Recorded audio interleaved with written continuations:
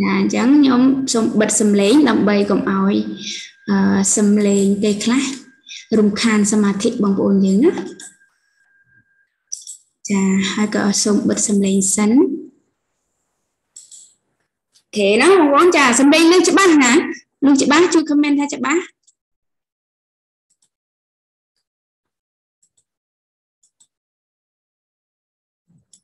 okay ចា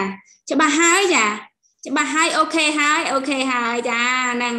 ចានៅតាមខេត្តអត់សេវាចាច្បាស់ចា okay ចាសង្ស័យមេឃប្រណីណាបងបងស៊ីណេណាចាភ្លៀងហើយសេវាអត់ច្បាស់ហើយប៉ុន្តែមេឃប្រណីឃើញថាបងមានការតាំងចិត្តខ្ពស់ចាធម្មពលខ្ពស់ចាក៏ okay ណាច្បាស់តែម្ដងទៅណាបងណាចាអូខេចាអញ្ចឹងបងប្អូនណាខ្លះដែលចូលសិក្សាចាថ្ងៃនេះជាលើកទី1 ណាលើកទី1ថ្មីស្រឡាងតែម្ដងចាជួយ comment លេខ1មកចាតាក់ទងទៅនឹងកម្មវិធីផលិតផលរបស់យើង Fight to V ក្តីឬក៏ probiotic ក្តីចាមានទេមានអ្នកចូលលើកទី1ចូលសិក្សាលើកទី1ចាមានអត់វ៉ាវមាន Mr. Sarah welcome ណាលើកទី1ចាអូមានលើកទី1ច្រើនអឺរឿមច័ន្ទរីចា okay លីចា okay លើកទី1ខាងខ្ញុំភ្លៀងខ្លាំងណាស់កំបូលណាចារដូវ នេះគឺរដូវចាប់ដើមចូលរដូវភ្លៀងហើយភ្លៀងជារឿងធម្មតាណា okay អញ្ចឹងមានអ្នកសិក្សាលើកទី1ចាច្រើនមែនតើចាអញ្ចឹង welcome ចាសូមស្វាគមន៍ទាំងអស់គ្នាដែលចូលសិក្សាជាលើកទី1ក្នុងរាត្រីនេះចាហើយអញ្ចឹងក្រៅពីអ្នកអត់ comment មានន័យថាចូលញយហើយណាសំមុខហើយណាបើគាត់ជាខ្លាំងហើយណាសិក្សាជាបន្តបន្ទាប់ច្រើនលើកច្រើនសារមែនតើចា អញ្ចឹងអូខេចាខ្ញុំសូមជម្រាបសួរម្ដងទៀតជាផ្លូវការខ្ញុំណៃកនចា product expertise របស់ក្រុមហ៊ុន Success Mall ហើយក៏បានចារៀបចំកម្មវិធី product training រៀងរាល់ថ្ងៃប្រហ័សចាវេលាម៉ោង8ដល់ម៉ោង9កន្លះរៀងរាល់សប្តាហ៍ចាលើកលែងតែមានកម្មវិធីពិសេសពិសេសអាចមានអខណ្ឌតែបើសិនជាបងប្អូនត្រូវការអភិវឌ្ឍចំណេះដឹងតាក់ទងទៅនឹងផលិតផលចូលរួមសិក្សាជាមួយគ្នារៀងរាល់ថ្ងៃប្រហ័សចា អូខេចាអញ្ចឹងថ្ងៃនេះគឺដើម្បីកុំឲ្យខាតពេលវេលាយើងខ្ញុំសូមចូលសេចក្តីតែម្ដងទៅចាអឺសូមជាបឋមចាសូមថ្លែងអំណរគុណរបស់ជូនដល់ចាលោកដុកទ័រដែលជាប្រធានក្រុមហ៊ុនរបស់ក្រុមហ៊ុន Success Mall និងលោក CEO ចារួមទាំង GM ឬក៏ធីមក្រុមការងារទាំងអស់ចារបស់ក្រុមហ៊ុន Success Mall ដែលគេហៅថាបង្កើតឬក៏បង្កើតនៅកម្មវិធីល្អៗ ហើយក៏បង្កើតនៅផលិតផលល្អៗដើម្បីឲ្យបងប្អូនប្រជាពលរដ្ឋខ្មែរឬមួយក៏ AAC ហ្នឹងបានប្រើប្រាស់នៅផលិតផលដែលមានគុណភាពខ្ពស់ចាលោកដុកទ័ររបស់យើងចាកាលពីឆ្នាំ2022ចាបានពានរង្វាន់ហើយក៏ថ្មីថ្មីនេះគឺ20និង22នេះបានពានរង្វាន់ចាគេហៅថា Chivechit Award គឺជាអឺគេហៅថាគឺជារង្វាន់ដែលតកតងទៅនឹងផលិតផលពីធម្មជាតិចា ដោយចម្រាញ់ចេញវត្ថុធាតុដើមពីធម្មជាតិដើម្បីប្រើប្រាស់ចានេះគឺជាពានរង្វាន់ដែលយើងទទួលបានពី2ឆ្នាំស្ទួនស្ទួនគ្នាហើយចាហើយក៏មិនភ្លេចផងដែរចាអឺខូដដែលតែងតែបង្ហាត់បង្រៀនខណៈដែលខ្ញុំកំពុងតែបង្រៀនពេលនេះចាគាត់ក៏នៅជាចាជាជាមួយខ្ញុំចាគឺបងផុននិងបងស្រីគេចា សូមឲ្យបងប្អូនទាំងគ្នា comment 168ខ្ញុំជួយចិត្តខ្ញុំដឹងថាគាត់ចូលចិត្តលេខ168ចាជួយ comment លេខ168ឲ្យច្រើនច្រើនចាហើយចាបងប្អូនធម្មតាយើងធ្វើអាជីវកម្មរបស់យើងច្បាស់ហើយគឺមានអ្នកណែនាំយើងប៉ិតមែនទេចាមានអ្នកណែនាំយើង comment ឈ្មោះ upline តែម្ដងឬក៏ឈ្មោះចា អ្នកដែលបានណែនាំឲ្យបងប្អូនបានស្គាល់នៅអាជីវកម្មមួយនេះ រួមទាំងបានចូលសិក្សាថ្ងៃនេះចាជួយ comment ឈ្មោះពួកគាត់ម្នាក់មួយមកចាខ្ញុំក៏ comment ឈ្មោះគាត់ដែរចាខ្ញុំខ្ញុំ comment ឈ្មោះគាត់ចាអូខេណាយើង comment ដល់គ្នាចាហេតុអីបានជាខ្ញុំឲ្យ comment ចានេះគឺជាការដឹងគុណអ្នកដែលបានផ្ដល់ឱកាសឲ្យយើងរួមទាំងនិយាយទៅបើសិនជាពួកគាត់មិនបានផ្ដល់ឱកាសឲ្យយើងក៏យើងអត់មានថ្ងៃនេះដែរណានេះគឺជា គេហៅថាអំណរគុណអញ្ចឹងបងប្អូនអ្នកខ្លះខាងអឺគាត់ធ្វើតាមទូនទីគាត់ហ្នឹងមែនទេមានទេមានគិតអញ្ចឹងទេចាក៏ប៉ុន្តែបងប្អូនអាចគិតបែបហ្នឹងបានប៉ុន្តែធៀបពិតបើសិនជាគាត់គ្មានសេចក្តីស្រឡាញ់គ្មានសេចក្តីមេត្តាចំពោះយើងគាត់គាត់តែណែនាំចោលហើយហើយទៅក៏មិនបាន follow យើងទេពិតមែនទេចាអញ្ចឹងខ្ញុំចង់ឲ្យបងប្អូននឹកឃើញយ៉ាងមនុស្សដែរណែនាំបងប្អូនណោះ ចាអូខេនិយាយទៅដល់ចង់អួលដើមកចាណាខ្ញុំចូលមើលចាឃើញបងសុធីបងស្រីអូនចាបងអូនស្រីរីណែតបងទីនចាអាអាខាន់គាត់ជាអាប់ឡាញរបស់ អ្នកគ្រូចេស៊ីកាចាអូខេអ្នកគ្រូជាណាចាអូខេចាច្រើនណាអានទៀតណាបងអូនឈុំចាបងស្រីកាកាចា អូខេចាគឺមានក្តីសុខចាមានក្តីសុខសំបីតែលោកដុកទ័រដូចជាដូចខ្ញុំចូលកម្មវិធីអញ្ចឹងគឺខ្ញុំបានថែមណាអំណរគុណគាត់ណាតែតែគាត់អត់ដឹងថាយើងធ្វើអីប៉ុន្តែរៀងរាល់ពេលដែលយើងនឹកដល់គាត់ណាខ្ញុំជឿជាក់ថាវាមានធម៌ពលមួយ ដែលធ្វើឲ្យទោះបីជាពេលខ្លះយើងហត់នឿយក៏ធ្វើឲ្យយើងនឹងទទួលបាននៅអំណរសាទរមួយនឹងចាពេលខ្លះ និយាយទៅវាអាចអត់តន់ដល់យល់នៅអត្តន័យប៉ុន្តែនៅពេលដល់ចំណុចមួយបងប្អូននឹងយល់នៅអ្វីដែលខ្ញុំបាននិយាយនៅពេលនេះទាំងដែលពួកគាត់នឹងអត់ដែលឃើញមុខយើងយ៉ាងម៉េចតែគាត់បានធ្វើរឿងល្អល្អຕົកសម្រាប់ពួកយើងចំនួនក្រោយនេះគឺជាអឺហៅថារឿងរ៉ាវល្អល្អដែលដែលដែលពួកយើងនឹងទទួលបានណាចាអត្ថប្រយោជន៍នៅក្នុងការសិក្សានៅក្នុងរាត្រីយប់នេះចាបងប្អូននឹងទទួលបានចំណេះដឹងចាតកតងទៅនឹងការ detox ចាហើយនឹងធ្វើឲ្យកាពះពោះវៀនរបស់យើងនឹង balance ចាស្អីគេ balance ស្អីគេ detox តិចទៀតយើងនឹងស្គាល់ទាំងអស់គ្នាចាបន្តមកទៀតស្គាល់ផលិតផលបានស៊ីជម្រៅជាងមុនដូចខ្ញុំជម្រាបជូនអញ្ចឹងប្រហែលជាជ្រៅជាងនឹង10ម៉ែត្រចាឃើញអតិថិជនគោលដៅណាហើយដែលបានខ្ញុំនិយាយថាអតិថិជនគោលដៅចាគ្រប់គ្នាមានពោះវៀនជារបស់ខ្លួនឯងចាមានការបន្ទោបងជារបស់ខ្លួនឯងគ្មានអ្នកណាហាមទេសំខាន់គឺយើងអ្នក អ្នកអ្នកចាត់ការណាចាហើយមើលឃើញឱកាសការពង្រីកទីផ្សារបានកាន់តែទូលំទូលាយជាងមុនចាអូខេណាចាមិនលឺទេចាអ្នកអត់លឺសង្ស័យអត់បើកមូតសំឡេងណាបងណាអត់លឺអត់បានបើកមូតសំឡេងមិនដឹងថានិយាយបែបណាឲ្យបងលឺទេបើបងអត់លឺហើយណាបងប្អូនអឺអឺ ពេលខ្លះយើងត្រូវរៀនក្នុងការអភិវឌ្ឍខ្លួនអូខេអញ្ចឹងយើងស្គាល់ជាមួយគ្នាតែម្ដងទៅតកតងទៅនឹងការ detox ណាពាក្យ detox នេះបងប្អូនខ្លះគឺគាត់ស្គាល់យូរហើយចាបងប្អូនណាខ្លះធ្លាប់ឮចាធ្លាប់ឮរយៈពេលតាំងពីមុនញ៉ាំហ្វៃទូវីទៀតធ្លាប់ឮទេចាធ្លាប់ឮយូរហើយចាជួយ comment លេខ1ចាឮហើយចាអ្នកណាខ្លះ ថ្ងៃនេះទៅទៅលឺ detox លើកដំបូងចាចាជួយ comment លេខ2មកចាអូខេលេខ1ច្រើនអូកែមែនតើធ្លាប់លឺចា detox យើងធ្លាប់លឺយ៉ាងអត្តន័យ detox អាចនៅពេលដែលនិយាយថា detox យើងប្រកាសជានឹកឃើញ fiber មែនទេពិតមែនណាចាពិតមែន comment យ៉ាងមក ចាសួរឲ្យញយតិចចាអូខេយេចា detox មកពីពាក្យថា detoxification គឺមានន័យថាការលាងសម្អាតជាតិពុលឬក៏ជំរុះជាតិពុលផ្សេងផ្សេងចេញពីសារពាង្គកាយអញ្ចឹងនៅពេលដែលយើងជំរុះជាតិពុលចេញពីរាងកាយរបស់យើងមានវិធីណាខ្លះបងប្អូនមានវិធីណាខ្លះចានៅពេលដែលយើងញ៉ាំចូលទៅចាមានវិធីណាខ្លះកម្ចាត់ជាតិពុលចេញពីរាងកាយរបស់យើងចាលាមួមែនទេចាទឹកនោមមិនមែនអត់ ចាញើមិនមែនទេចានេះគឺជាការកម្ចាត់ជាតិពុលចា detox ស្បែកអ្នកខ្លះ detox ស្បែក detox មិនទៅគឺហាត់ប្រាន់បញ្ចេញជាតិពុលចានេះគឺជាការ detox ដែរណាដូច្នេះហើយគឺធ្វើឲ្យជាតិពុលនឹងចេញពីរាងកាយរបស់យើងណោះអូខេគឺធ្វើពោះវៀនរបស់យើងស្អាតនឹងឯងដូចជារូបភាព before ហើយនិង after ដែលបងប្អូនបានឃើញចា យើងមើលមូលហេតុទាំងអស់គ្នាថាតើមូលហេតុអ្វីខ្លះដែលបណ្ដាលធ្វើឲ្យយើងជួបបញ្ហាឬក៏ការសន្សំសារធាតុពុលកាកសំណល់នៅក្នុងរាងកាយរបស់យើងច្រើនឡើងច្រើនឡើងចាទីមួយគឺការបរិភោគចាបរិភោគមិនថាអាហារប្រភេទសាច់ចាហើយអាហារប្រភេទសាច់ហើយគឺយើងចូលចិត្តណាស់គឺចៀនចាអាំងឬក៏ផ្អាប់ឬក៏អាហារដែលមានជាតិហ្គាសក្នុងកម្រិតមួយច្រើនច្រើនលើសពីកំណត់ចាចូលចិត្តញ៉ាំគ្រឿងសង្វឹង ចាគ្រឿងអាគុលចាញ៉ាំទៅសវឹងគ្រប់គ្រងស្មារតីខ្លួនឯងមិនបានចាការសារធាតុពុលនៅក្នុងបរិយាកាសនេះក៏ធ្វើឲ្យរាងកាយរបស់យើងនឹងស្រូបយកសារធាតុពុលពិតមែនទេចាបងប្អូនយល់ឃើញបែបហ្នឹងអត់ចាបើសិនជាពិតមែនចាជួយ comment យ៉ែមកចាអូខេនៅពេលដែលយើង ចាបរិភោគឬក៏ទទួលបានសារជាតិពុលអឺគេថាកាក់សន្សំកាក់សំណល់នៅក្នុងពោះវៀនរបស់យើងរយៈពេលយូរពេកធ្វើឲ្យពោះវៀនរបស់យើងនឹងគឺ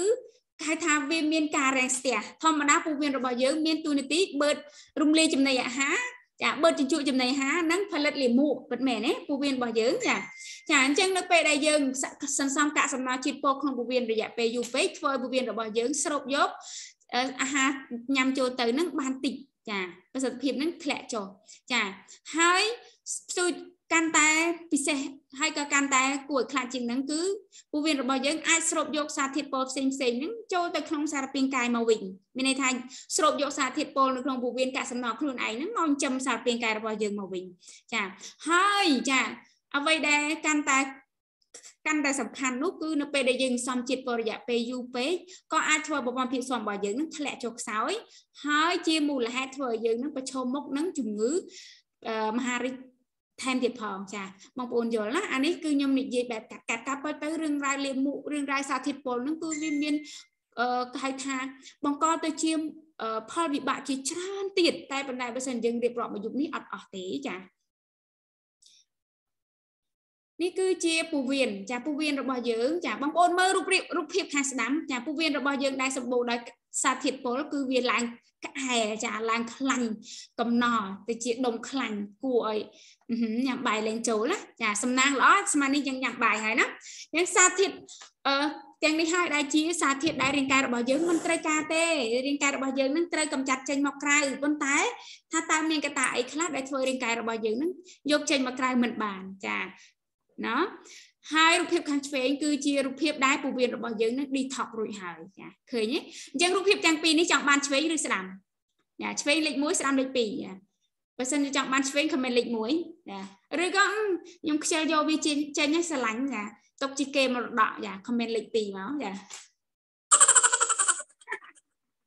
ណាអូខេចាអត់មានអ្នក comment លេខ2ទេបើមាននៅសើចឲ្យមើលអូខេចា ចាអញ្ចឹងសារធាតុសារធាតុពុលទាំងនេះ ដែលធ្វើឲ្យមនុស្សយើងជួបបញ្ហាតកតងនឹងប្រព័ន្ធរំលាយអាហារច្រើនមែនទែនចាជំងឺដែលជួបញឹកញាប់ហ្នឹងគឺជំងឺជំងឺក្រពះចាក្រពះធម្មតាវាមកជាមួយពោះវៀនណាអញ្ចឹងអ្នកខ្លះឈឺអីក្រពះពោះវៀនអញ្ចឹងពាក្យថាក្រពះពោះវៀនហ្នឹងគឺវាអឺថារួមមែនតើណាចាក៏ប៉ុតវាវាមានញែកទៀតចារលាកក្រពះពោះវៀនចាជំងឺឡើងជាតិម្យ៉ាងជំងឺមហារិចចា អឺផ្សេងផ្សេងជាច្រើនទៀតចាបងប្អូនមើលណានៅក្នុងនេះគឺមានមហារិទ្ធទៀតហើយចាមហារិទ្ធពោះវៀនធំណាជាប់លំដាប់ថ្នាក់លេខ3ចាមហារិទ្ធក្រពះជាប់លំដាប់ថ្នាក់លេខ4ហើយជំងឺរលាកក្រពះធ្ងន់ធ្ងរជាប់លំដាប់ថ្នាក់លេខ5ចាអញ្ចឹងគេនិយាយថាលំដាប់ថ្នាក់លេខ4ចាដែលជាមូលហេតុធ្វើឲ្យអ្នកជំងឺបាត់បង់ជីវិតនៅលើពិភពលោកនោះគឺជំងឺមហារិទ្ធពោះវៀនធំណាពោះវៀនធំឲ្យតែយើងនឹកឃើញពោះវៀនធំនឹកឃើញអីគេបងប្អូន កន្លែងបន្ទោបងណាចាបន្ទាប់ពីរុនគូតចូលទៅគឺពោះវៀនធំចាលំដាប់ទី3ចាជាប់ចំណាត់ថ្នាក់លេខ3ដែលជាមូលហេតុធ្វើឲ្យប្រជាជនថៃចាបាត់បង់ជីវិតដោយសារជំងឺមហារីកនោះចាគឺពោះវៀនធំនឹងដែរណាឃើញទេបងប្អូនចាអញ្ចឹងខ្ញុំជឿជាក់ថា តួលេខលំដាប់ពិភពលោកតួលេខនៅប្រទេសថៃក៏វាមិនសូវជាខុសគ្នានៅប្រទេសកម្ពុជាប្រហែលដែរពិតមែនអត់ចាអញ្ចឹងនេះមិនមែនថាបងប្អូននឹងអឺមើលឃើញតួលេខបែបនេះគួរឲ្យខ្លាចអត់ទេ យើងខ្លាចតែយើងមានសតិចាយើងខ្លាចយើងចេះការពារណាអូខេអត់ចាអូខេ comment អូខេមកចា រកសញ្ញាអាយើងធ្វើបែបណាដឹងថាយើងកំពុងតែជួបបញ្ហាតាក់ទងទៅនឹងកាពះពោះវៀនហើយចាតូនលេមុខរ៉ាំរៃចាអាសាហើមពោះអាកោលពោះចាខ្យល់ដើរមិនដើរចាឈឺពោះគ្មានមូលហេតុណាឈឺពោះគ្មានមូលហេតុអស់កម្លាំងហិតលហើយនេះគឺជារោគសញ្ញាបញ្ជាក់ថាការរំលាយអាហាររបស់យើងឬក៏ការបញ្ចេញចោលរបស់យើងតាក់ទងទៅនឹងក្រពះពោះវៀនរបស់យើងនឹងមានបញ្ហាណាអញ្ចឹង នៅពេលដែលយើងដឹងថាមានបញ្ហាបែបនេះចង់ការពារអត់ចង់ការពារខមមិនចង់ម្នាក់មួយមកណាណាខមមិនចង់មកណាទី1ណាយើងស្រឡាញ់ការហាត់ប្រាណអត់ចាបើស្រឡាញ់នេះសំណាងល្អមែនតើពីព្រោះអីយើងបានជួយបណ្ដោះចាបណ្ដោះទុកពីហានិភ័យ កើតមហារិទ្ធពវៀនរបស់យើងណាទីមួយគឺហតានឲ្យបានជាប់ជួនចាគ្រប់គ្រងគីឡូកុំឲ្យធាត់ណាបើសិនជាបងប្អូនអាចគ្រប់គ្រងចាមានភាពវៃឆ្លាតក្នុងការគ្រប់គ្រងខ្លួនឯងចាគីឡូខ្លួនឯងនេះគឺល្អមែនតើចាបន្តបងឲ្យបានទៀងទាត់ពេលវេលាណានេះសំខាន់អ្នកគ្រូខ្ញុំចង់បត់ជើងដែរតែវាមិនបត់ណាការប៉ັດទឹកគេមានវិធីណាតែបើសិនជាយុគនេះគឺនិយាយអត់ទេណាអាចប្រឹក្សាយោបល់តាមក្រោយបានផឹកទឹកឲ្យបានច្រើនណាទទួលទានទឹកឲ្យបានគ្រប់គ្រាន់ យ៉ាកាត់បន្ថយការជក់បរិយញ៉ាំស្រានិងទទួលទានអាហារដែលមានកាកសរសៃណាទទួលទានអាហារដែលមានកាកសរសៃខ្ពស់ណានិងអាហារដែលមានជាតិខ្លាញ់ទាបណាក្នុងចំណុចនេះគឺគេនិយាយច្បាស់ហើយណាបងប្អូនអាចធ្វើបានអត់បើសិនជាអាចធ្វើបានយើងនឹងរួចផុតពីបញ្ហាតាក់ទងទៅនឹងកាពះពោះវៀនទាំងអស់គ្នាចាអូខេចា អានេះអានេះគឺអឺអូខេចាអញ្ចឹងយើងនៅពេលដែលយើងដឹងថាយើងមានបញ្ហាតាក់ទងទៅនឹងកាពះពោះវៀនហើយចាអញ្ចឹងថ្ងៃនេះគឺខ្ញុំចង់ឲ្យបងប្អូន មានគេហៅថាវិធីបែបងាយស្រួល ក្នុងចំណុចហាត់ការការហាត់ប្រាណចាបងប្អូនអាចធ្វើបានទេអាចធ្វើបានតែស្ទើរតែមិនចាំបាច់ចំណាយលុយទេពិតមែនទេចា ការបន្ទោបងឲ្យទៀងទាត់ចាយើងអាចធ្វើបានណាចាយើងអាចរៀបចំពេលវេលាហើយដែលបានជាខ្ញុំលើកឲ្យបងប្អូនបានដឹងដើម្បីឲ្យបងប្អូនមាន plan ក្នុងជីវិតខ្លួនឯងមាន plan ដាក់គោលដៅក្នុងការមើលថែខ្លួនឯងចាអ្នកគ្រូនិយាយទៅស្រួលតែធ្វើពិបាកចាពិបាកឬស្រួលវាជារឿងរបស់ខ្លួនយើងចាដោយសារយើងមាន plan ជាមួយខ្លួនឯងចាអូខេជក់បរិយញ៉ាំស្រាចាយើងអាចធ្វើបានណាឈប់ឈប់បានណាចាបើឈប់បានជួយ comment yes មកណា ទទួលទានអាហារដែលមានកាកសរសៃខ្ពស់ចាអាហារដែលមានកាកសរសៃខ្ពស់ភាគច្រើននៅក្នុងអីគេបងប្អូនចាបន្លែផ្លែឈើនិងក្របធញ្ញជាតិមែនទេចានេះគឺយើងដឹងមកយូរហើយចាមានអ្នកណាខ្លះដែលអត់តន់ដឹងចាខ្ញុំនឹងវែកញែកឲ្យជ្រៅជាងនឹងទៀតចាបានព្រោះអត់ចេះតុនចិនទីនចាអូខេចា ធ្វើបានណាបងណោះណាបងណាវីអូពូកែមែនបងណាវីចាអញ្ចឹងយើងអាចទទួលទានអាហារដែលមានកាកសរសៃខ្ពស់ចាឲ្យបានច្រើនកាត់បន្ថយការញ៉ាំខ្លាញ់ចានៅក្នុងចំណុចមួយនេះនៅពេលដែលយើងនិយាយអំពីកាកសរសៃខ្ពស់ច្បាស់ហើយបងប្អូនត្រូវនឹកឃើញបន្លែផ្លែឈើគ្រាប់ធញ្ញជាតិអញ្ចឹងមិនមែនថាយើងញ៉ាំបន្លែផ្លែឈើគ្រាប់ធញ្ញជាតិណាយើងដឹងតែបានបានចាប៉ុន្តែនៅក្នុងកម្រិតមួយថាតើគ្រប់គ្រាន់មិនគ្រប់គ្រាន់នៅពេលដែលយើងជួបបញ្ហាទល់លាមក ច្បាស់ហើយបើសិនជាទៅភាសាជាមួយលោកដុកទ័រគឺគាត់លើកទឹកចិត្តឲ្យយើងញ៉ាំបន្លែបានច្រើនតែញ៉ាំច្រើនប៉ុណ្ណាចាញ៉ាំច្រើនរហូតដល់យើងអាចទទួលបានកាកសរសៃពី25ទៅ35ក្រាមក្នុងមួយថ្ងៃប៉ុន្តែធ្វើបែបណាបានយើងដឹងកាកសរសៃយើងញ៉ាំគ្រប់គ្រាន់ចាវិធីស្មានងាយងាយណាបងប្អូនចាពី4ខាំទៅ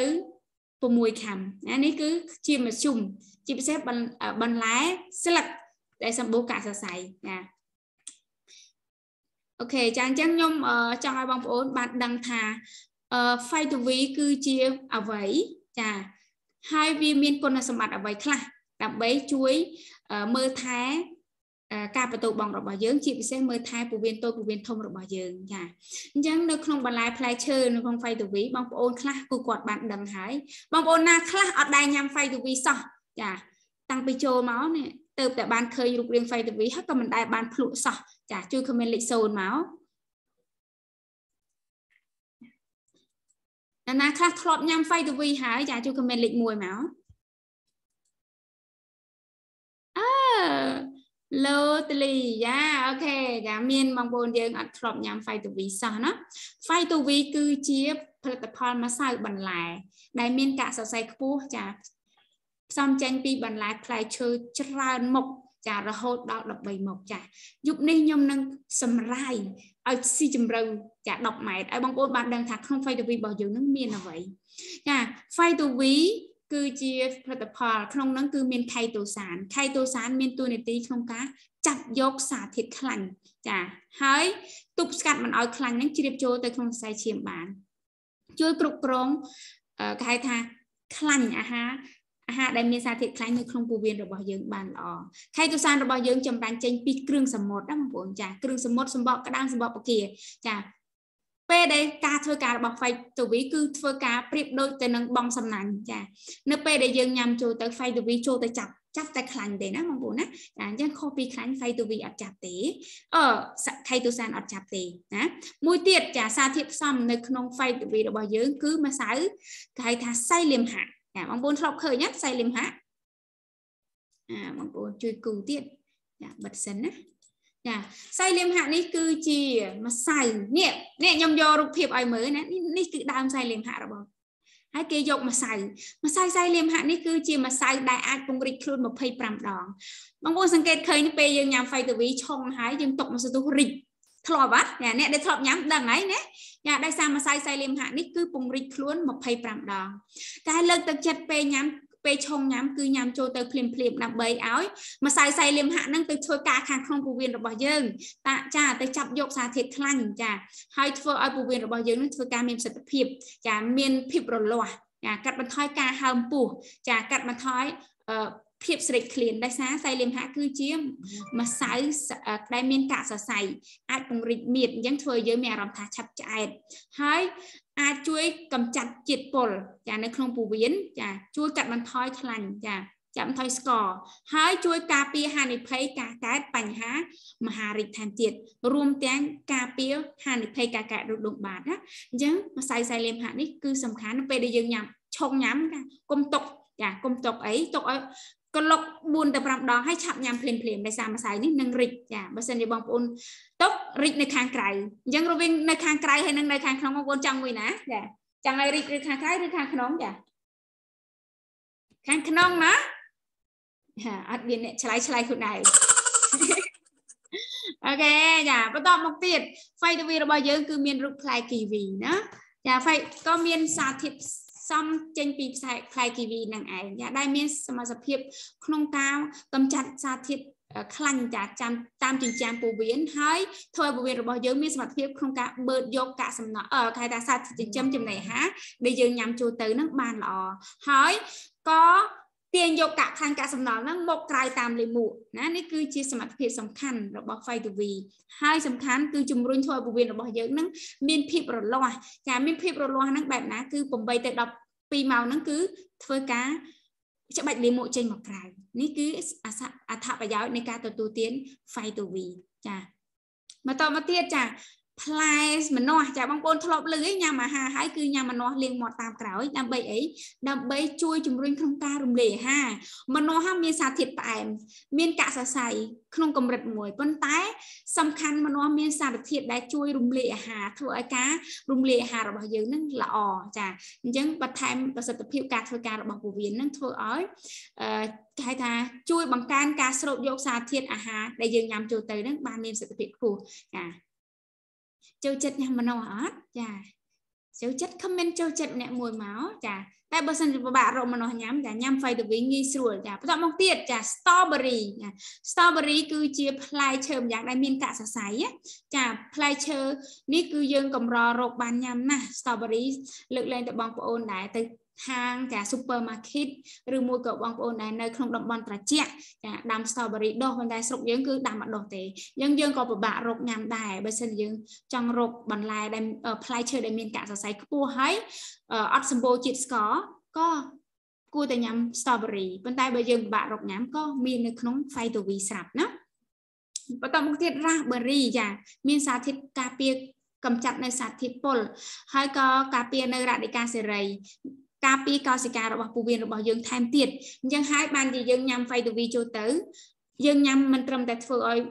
យើងចង់បានកាកសរសៃចេញពីបន្លែផ្លែឈើដែលខ្ញុំបានរៀបរាប់តែប៉ុណ្ណោះទេចាយើងត្រូវការឲ្យសារធាតុការពាររ៉ាឌីកាសេរីនឹងបានមើលថែពោះវៀនរបស់យើងថែមទៀតផងបែបនេះល្អអត់បាត់ជើងស្រួលឲ្យពោះវៀនរបស់យើងនឹងដំណើរការល្អកោសិកាល្អចាបងប្អូនចង់បានអត់ចា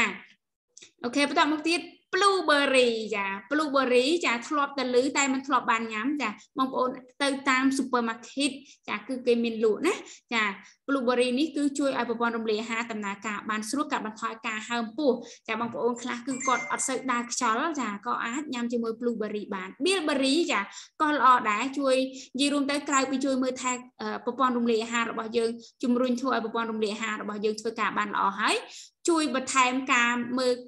ឃើញនៃការភ្នែករបស់យើងហ្នឹងបានល្អប្រសើរទៀតអញ្ចឹងព្រួញមួយបាញ់បានសត្វពីសត្វពីរចាសត្វពីរសត្វ3សត្វ4ចាបងប្អូនយកអត់ចាយក comment យកម្នាក់មួយមកណា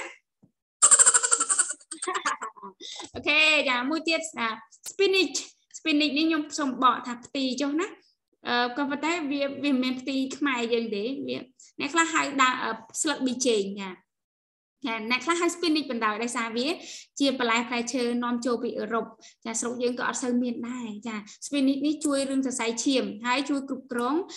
គេហៅថាការកើតដុំឈាមដែលជាមូលហេតុធ្វើឲ្យការកកស្ទះនៅក្នុងសរសៃឈាមជួយកាត់បន្ថយខ្លាញ់ទៀតនិងជួយកាត់ គេថាកំចាត់ជាតិពុលចេញពីពោះវៀនរបស់យើងអញ្ចឹងឃើញថាសារធាតុផ្សំរបស់យើងសុទ្ធសឹងតែមានប្រយោជន៍បានយើងដាក់មែនទេថាមួយទៀតសំដែងគូកម្មចាស្រូបយកសារធាតុខ្លាញ់និងស្ករចេញពីពោះវៀនចាធ្វើឲ្យលីមួករបស់យើងនឹងទន់ជ្រាយហើយធ្វើឲ្យយើងនឹងឆាប់ឆ្អែតចាបន្ទាប់មកទៀតចាផ្លែប៉ោមចា ខ្ញុំទៅបែបលឿនលឿនណាបងប្អូនណាផ្លែប៉ោមចាផ្លែប៉ោមនេះកាត់បន្ថយបញ្ហាលើសជាតិខ្លាញ់ក្នុងសរីរាង្គកាយចាជំរុញការស្រូបយកជាតិខ្លាញ់ឲ្យបញ្ចេញមកក្រៅចាតាមលាមកហើយធ្វើឲ្យយើងនឹងមានអារម្មណ៍មិនសូវឃ្លានដោយសារផ្លែប៉ោមសម្បូរដោយអ៊ីនូលីននិងកាកសរសៃដែលធ្វើឲ្យយើងនឹងឆ្អែតចាពេលដែលបងប្អូនញ៉ាំហើយក៏អាចជួយកាត់បន្ថយភាពឃ្លានរបស់យើងបានបន្ទាប់មកទៀតណាស្មៅអាល់ហ្វាហ្វា alpha នេះគឺជួយក្នុងការធ្វើឲ្យប្រព័ន្ធរំលាយអាហារហ្នឹងធ្វើការបានល្អជាងមុនជួយកម្ចាត់សារធាតុពុលក្នុងរាងកាយនៅក្នុងថ្លើមហើយមាន fiber ខ្ពស់ចា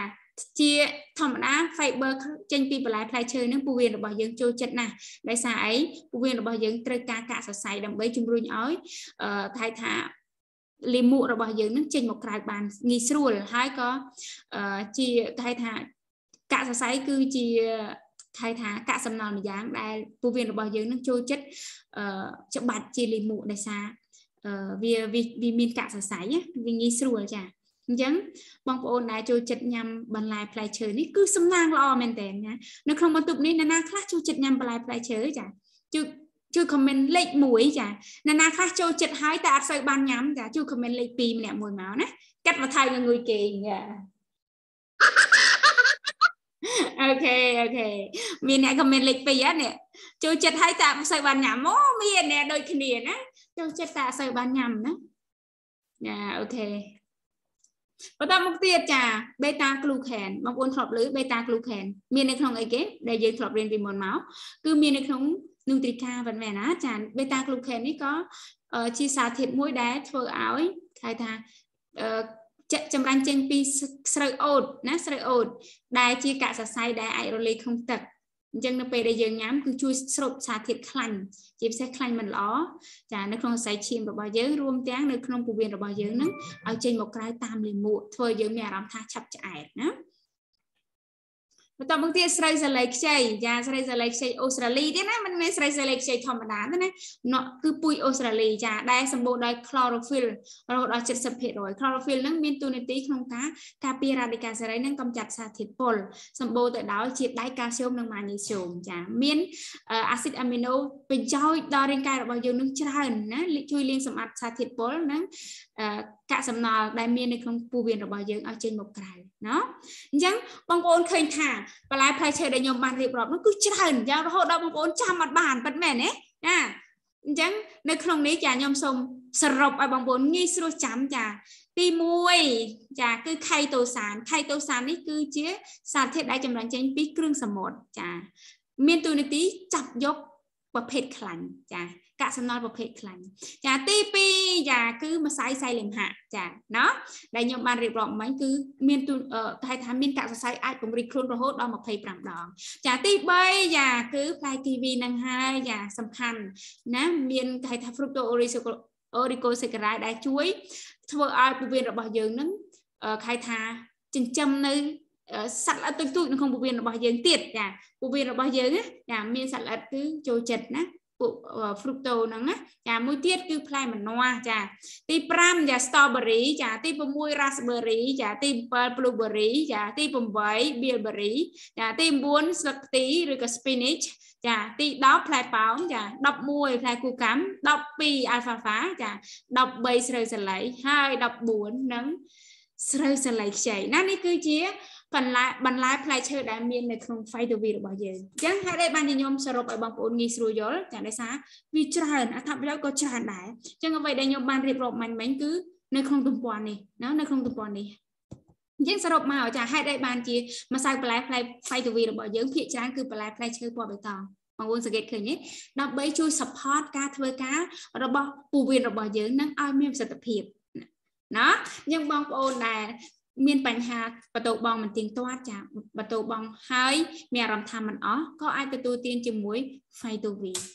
ណាងាយស្រួលញ៉ាំចាអញ្ចឹងវិធីទទួលទានគឺយើងឆុងនឹង នឹង10ចាឆុងនឹង10ក៏លុបឲ្យបែកចាក៏លុប4ទៅ5ដងហើយញ៉ាំឲ្យអស់ភ្លាមភ្លាមកុំឲ្យទុកយូរដូចខ្ញុំជម្រាបជូនអញ្ចឹងចាយើងអាចទទួលទានរាល់ថ្ងៃក៏បានចាឬក៏2ទៅ3ថ្ងៃម្ដងក៏បានដើម្បីជំនួសឲ្យការញ៉ាំបន្លែជារៀងរាល់ថ្ងៃរបស់យើងចាអ្នកដែលគួរទទួលទានគឺបងប្អូនដែលមានបញ្ហាទល់លាមកឬក៏បងប្អូនដែលកំពុងតែគិតថាអត់ដែលធ្វើការ detox កុំចាត់ជាតិពុលចេញពីពោះវៀនសោះក៏អាចទទួលទានជាមួយ Phytovi បានណាចាខ្ញុំបើសិនបងប្អូនថាខ្ញុំខ្ជិលញ៉ាំ Phytovi ហើយមកអប់មក29.5រៀងថ្លៃដែរអញ្ចឹងខ្ញុំសុខចិត្តញ៉ាំបន្លែផ្លែឈើវិញចាសុខចិត្តញ៉ាំបន្លែបងប្អូនអាចជ្រើសរើសញ៉ាំបាន Phytovi មួយកញ្ចប់បងប្អូនញ៉ាំសណ្ដែកបន្តកន្លះគីឡូអូខេណាអូខេ happy happy ញ៉ាំទៅណាកន្លះគីឡូញ៉ាំរហូតដល់រយស្គៀមចាញ៉ាំបានណាចាចាផ្លែត្រសក់ចាមកស្វាត្រសក់ណាចាបើបងប្អូនចង់ញ៉ាំ ទៅសក់ឲ្យបានប៉ុនកាក់ទទួលបានកាក់សរសៃឲ្យស្មើនឹង Phytovi មួយកញ្ចប់ក៏ញ៉ាំទៅ7ខាំណា7ខាំញ៉ាំបានអត់ចិត្ត1គីឡូមិនធម្មតាណាតែទៅសក់ឲ្យប្រហែលជាយើងចូលចិត្តញ៉ាំដោយសារអីយើងញ៉ាំទៅវាលក្ខណៈថាញ៉ាំលេងចាអ្នកខ្លះលំមាស់មាត់ញ៉ាំលេងចាដោយសាររសជាតិវាលែមលែមងាយស្រួលញ៉ាំតែបើសិនតែបន្តរៀងយ៉ាប់បន្តិចដោយសារអត់ផ្អែមតែក៏មានបងប្អូនរបស់យើងនឹងអាចធ្វើបានមានអ្នកធ្វើបានណាចា ខ្ញុំបងប្អូនអាចអានមើលណាមានត្រប់មានខណាមានននងននងចា8ខំណាចិត្ត1គីឡូននងជ្រុងញ៉ាំបានណាញ៉ាំទៅនោះមានអ្នកស្ម័គ្រចិត្តញ៉ាំនងជ្រុងលេងណាមានណាណាតែជាអត់មានទេមើលទៅខ្ញុំស្គមទៅខ្ញុំស្គមញ៉ាំទៅកាន់តែស្គមដឹងអ្នកគ្រូអូខេណាអូខេចាខ្ញុំនឹងឆ្លើយណាញ៉ាំតែម្ដង តលន់ចាហ្នឹងនេះគឺជាបញ្ហាញ៉ាំបាន តែសំខាន់បងប្អូនញ៉ាំបានរយៈពេលយូរអត់ញ៉ាំបានរាល់ថ្ងៃអត់ចាកុំឲ្យតែបងប្អូនចុះចាញ់មុនណាលើកទឹកចិត្តឲ្យញ៉ាំបន្លែផ្លែឈើទាំងនេះតែអ្វីដែលសំខាន់ជាងហ្នឹងបច្ចុប្បន្នបន្លែផ្លែឈើសម្បូរដោយសារធាតុគីមីច្រើនអញ្ចឹងការដែលយើងបានញ៉ាំបន្លែផ្លែឈើចាបន្លែចាដែលដែលយើងបានដាំខ្លួនឯងនេះកាន់តែល្អប្រសើរពិតមែនណាបងប្អូនចាពិតមែនទេចា អូខេចាមានបងប្អូនរបស់យើងចាឆាតថាបើសិនជាខ្ញុំញ៉ាំហើយអឺធ្វើឲ្យខ្ញុំកាន់តែស្គមអត់ចានៅក្នុងនេះខ្ញុំចង់ជម្រាបជូនថាម្សៅបន្លែ Phytovi របស់យើងវាជាបន្លែដែលគ្រប់គ្រងកម្រិតជាតិស្ករហើយនិងជាតិខ្លាញ់ខ្ញុំបើសិនជាបងប្អូនលើសគឺវានឹងចាប់យកមកក្រៅតាមកាកសំណល់បញ្ចេញមកក្រៅតាមកាកសំណល់អាចនិយាយភាសាមួយទៀតគេហៅថា maintenance kilo ចាមិនឡើងហើយក៏មិនចុះចាបែបនេះបងប្អូនចង់បានណាចាមិនឡើងហើយមិនចុះ ចាចង់បានជួយខមមិនចង់បានហ៎អញ្ចឹងសំណួរដែលសួរថាខ្ញុំស្គមញ៉ាំទៅកាន់តែស្គមអត់អត់ទេព្រោះអីវាមិនមែនធ្វើសម្រក់ណាបងណាចាអត់ស្គមទេណាបងគីឡូម៉ានគេថាខ្លួនឯងស្គមចាចង់ចង់បានចង់បានចង់បានចាអញ្ចឹងបើកពេលឲ្យសួរ10នាទី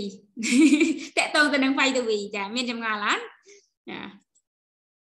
អាឃើញបរមីសង្ស័យអត់ឆ្ងល់ទេបរមី ណាមានបងប្អូនយើងឆ្ងល់ទេតកតងទៅនឹងម្សៅបន្លែ Phytovi បងសុភាណាឆ្ងល់ទេបងណាបងបងផាណាបងផាអាយុច្រើនហើយនេះស្វ័យសិក្សាណាបងណារីកចម្រើនណាបងណាចង់បានចាអត់ឆ្ងល់ណាបងផាមានចម្ងល់ទេបើមានចម្ងល់ឆាតមកណាបងលើកលើកលើកដៃក៏បានដែរខ្ញុំ scroll មើលបងប្អូនដែលមានចម្ងល់លើកដៃមកណាខ្ញុំនឹងបើកសំឡេងបណ្ដោយណា scroll មើល អូបកែមែនអត់មានឆ្ងល់ទេនេះអូវ៉ាវចាប់បានឬក៏អត់តន់ឆ្ងល់ចាអូមានអ្នកឆ្ងល់ខ្ញុំបើកណាខ្ញុំបើកសំឡេងសិនណាមានអ្នកលើកដៃណាអូខេចាសួរមកបង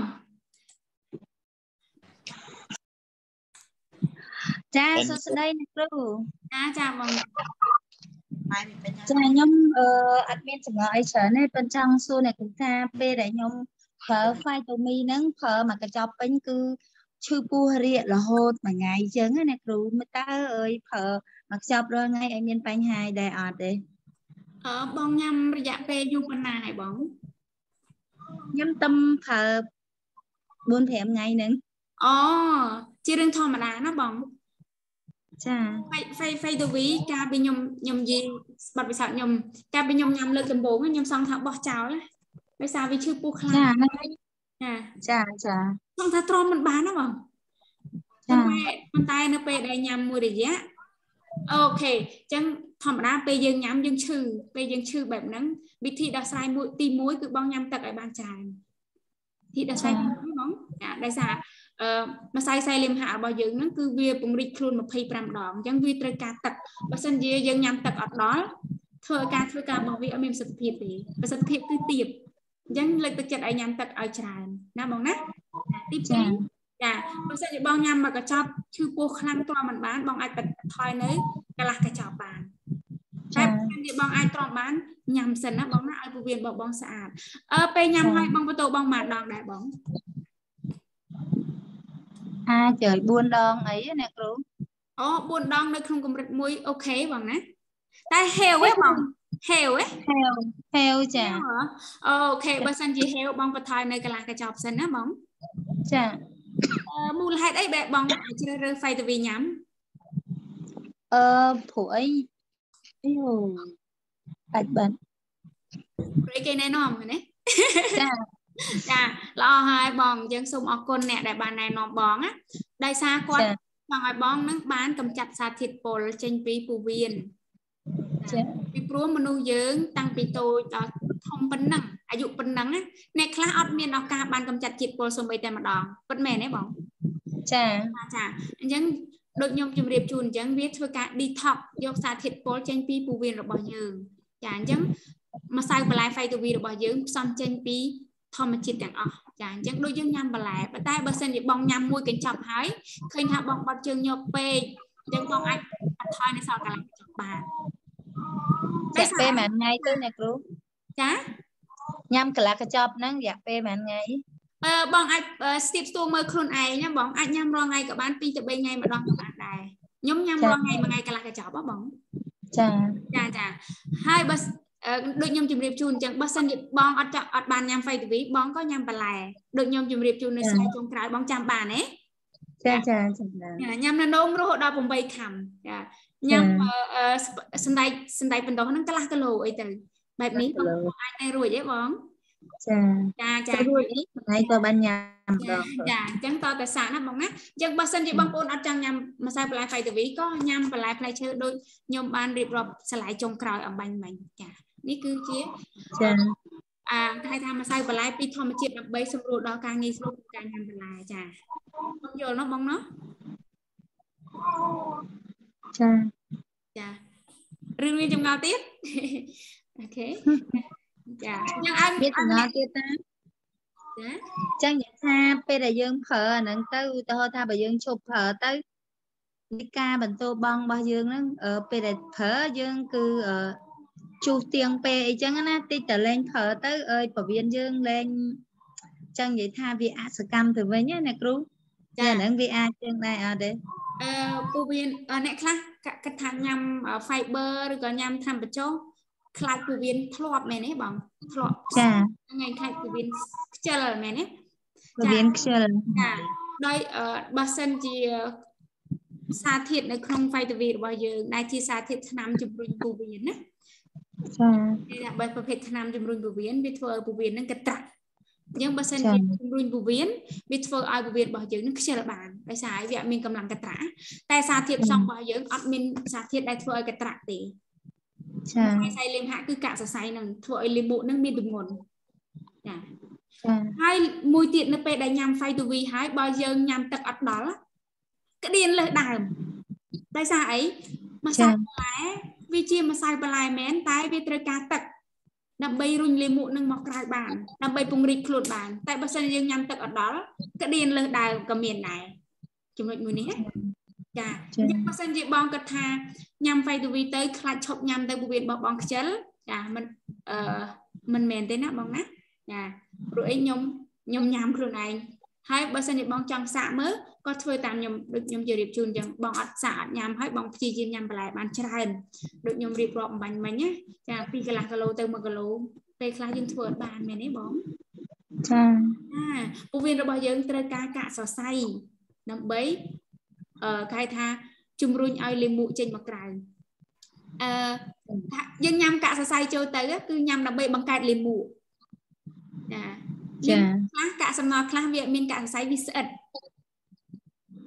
បងបងធ្លាប់បត់បន្ទោបងខ្លះបត់ជើងមកស្អិតស្អិតអីដោយសារកាកសំណល់យើងអត់សូវមានកាកសរសៃតែបន្ទោពេលយើងញ៉ាំហ្វៃតាវីចេញមកព្រុសព្រុសមែនទេបង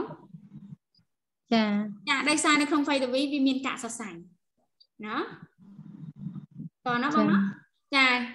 ឲ្យម្នាក់ទៀតណាចាឲ្យម្នាក់ទៀតឆ្ងល់បើកសំណួរសួរបានម្នាក់ទៀតចាឃើញបងវិនណាបងបងវិនបងប្រុសវិនណាបង ចាបងមានចម្ងល់មែនបងអត់មានទេលើកដៃអេសអូដៃអេសអូខេចាអូខេចាបាត់មានទេចាខ្ញុំបន្តទៀតណាលើកដៃអេសអូខេអូខេចាអញ្ចឹងខ្ញុំនឹងចូលដល់ផលិតផលមួយទៀតចាដើម្បីកុំឲ្យបងប្អូនហ្នឹង គេយប់ជ្រៅចាយើងនឹងមានពេលកន្លះម៉ោងទៀតណាកន្លះម៉ោងទៀតថ្ងៃនេះគឺស៊ីជម្រៅផលិតផលចាបងប្អូនទទួលបានច្រើនទេចាមិនច្រើនគេទៅថាច្រើនអញ្ចឹងឲ្យសួរទៀតឡើយអូខេចាចាផលិតផលមួយនេះគឺត្រកូលជាមួយ Phytovi ដែរមានឈ្មោះថា Phytovi Probiotic ហេតុអ្វីចាំបាច់មាន Phytovi ហើយមាន Phytovi Probiotic ទៀតបងប្អូនមានឆ្ងល់ទេ ហេតុអីបងគេមិនដាក់ជាមួយគ្នាបណ្ដោយទៅបងប្អូនមានឆ្ងល់អត់ចា Phytovi Probiotic គឺជាអាខេអញ្ចឹងមុននឹងស្គាល់ Phytovi Probiotic តែយើងស្គាល់ជាមួយនឹងគេហៅថាមីក្រូសរីរាង្គនៅក្នុងពោះវៀនរបស់យើងចាអឺស្អីគេមីក្រូសរីរាង្គ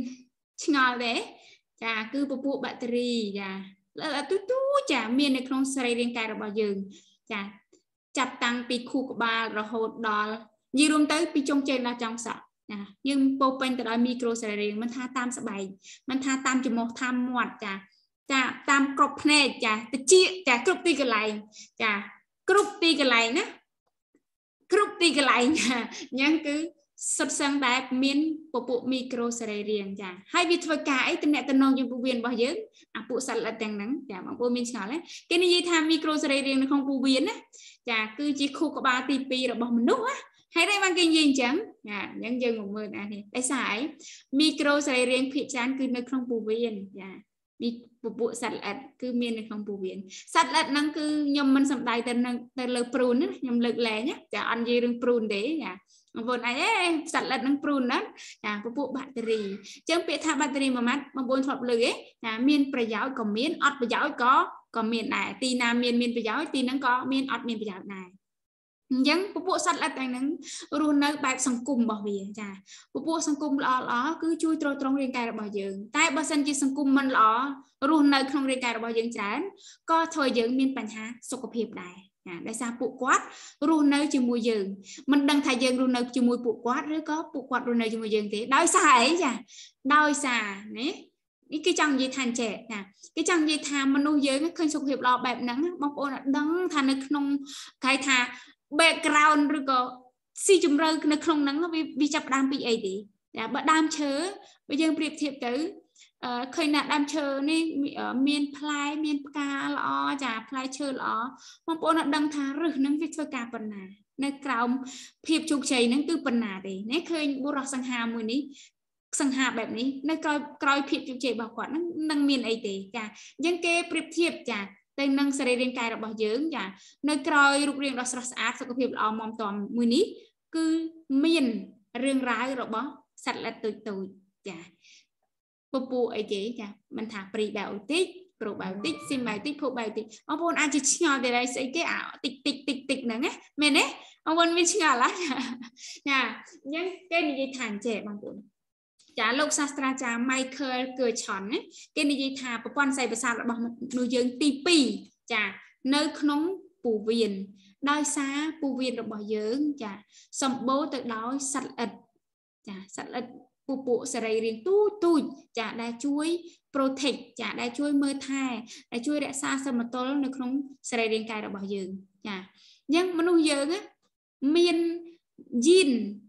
ឬក៏គេហៅថា genetic ចា22000ក្បាលបើយក22000ក្បាលមករួមផ្សំគឺស្មើនឹងរុយមួយក្បាលទេតែហេតុអីបានមនុស្សយើងឆ្លាតជាងរុយបងប្អូនឆ្ងល់ទេណា មានមាន genetic នឹងស្មើនឹងរុយមួយក្បាលតែហេតុអីបានមនុស្សយើងនឹងឆ្លាតជាងរុយបងប្អូនមានឆ្ងល់អត់ដោយសារនេះយើងមានពពុះមីក្រូសរីរាង្គអាស្រ័យលើខ្លួនយើងណាបងប្អូនច្រើនរហូតដល់100លានក្បាលណា100លានក្បាល ហើយមានរហូតដល់35000ពូជណាច្រើនមែនតើចាអញ្ចឹង សម្រាប់ថាយើងអាស្រ័យលើវាឬក៏វាអាស្រ័យលើយើងចា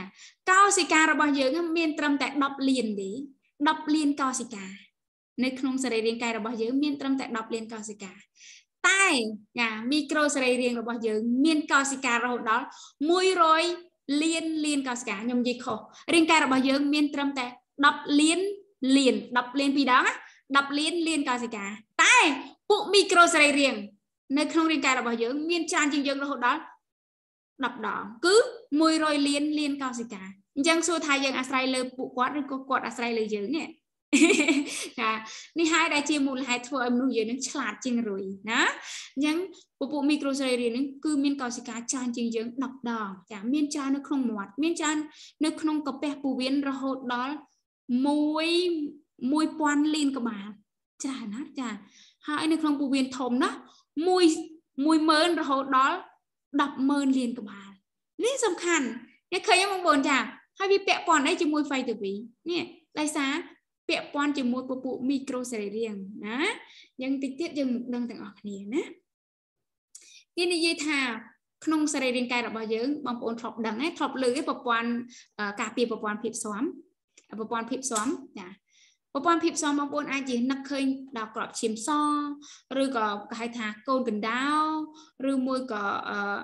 ខួរឆ្អឹងខ្នងបងប្អូនអាចជានឹកឃើញដល់បែបហ្នឹងមែនទេប៉ុន្តែបែបហ្នឹងមានអតិពលចំពោះប្រព័ន្ធភាពស៊ាំរបស់យើងត្រឹមតែ25ទៅ30%ទេចំណែក70%នៃប្រព័ន្ធភាពស៊ាំនៅក្នុងសរីរាង្គកាយរបស់យើងណាគឺពពុះ microbot គេហៅថា microbiota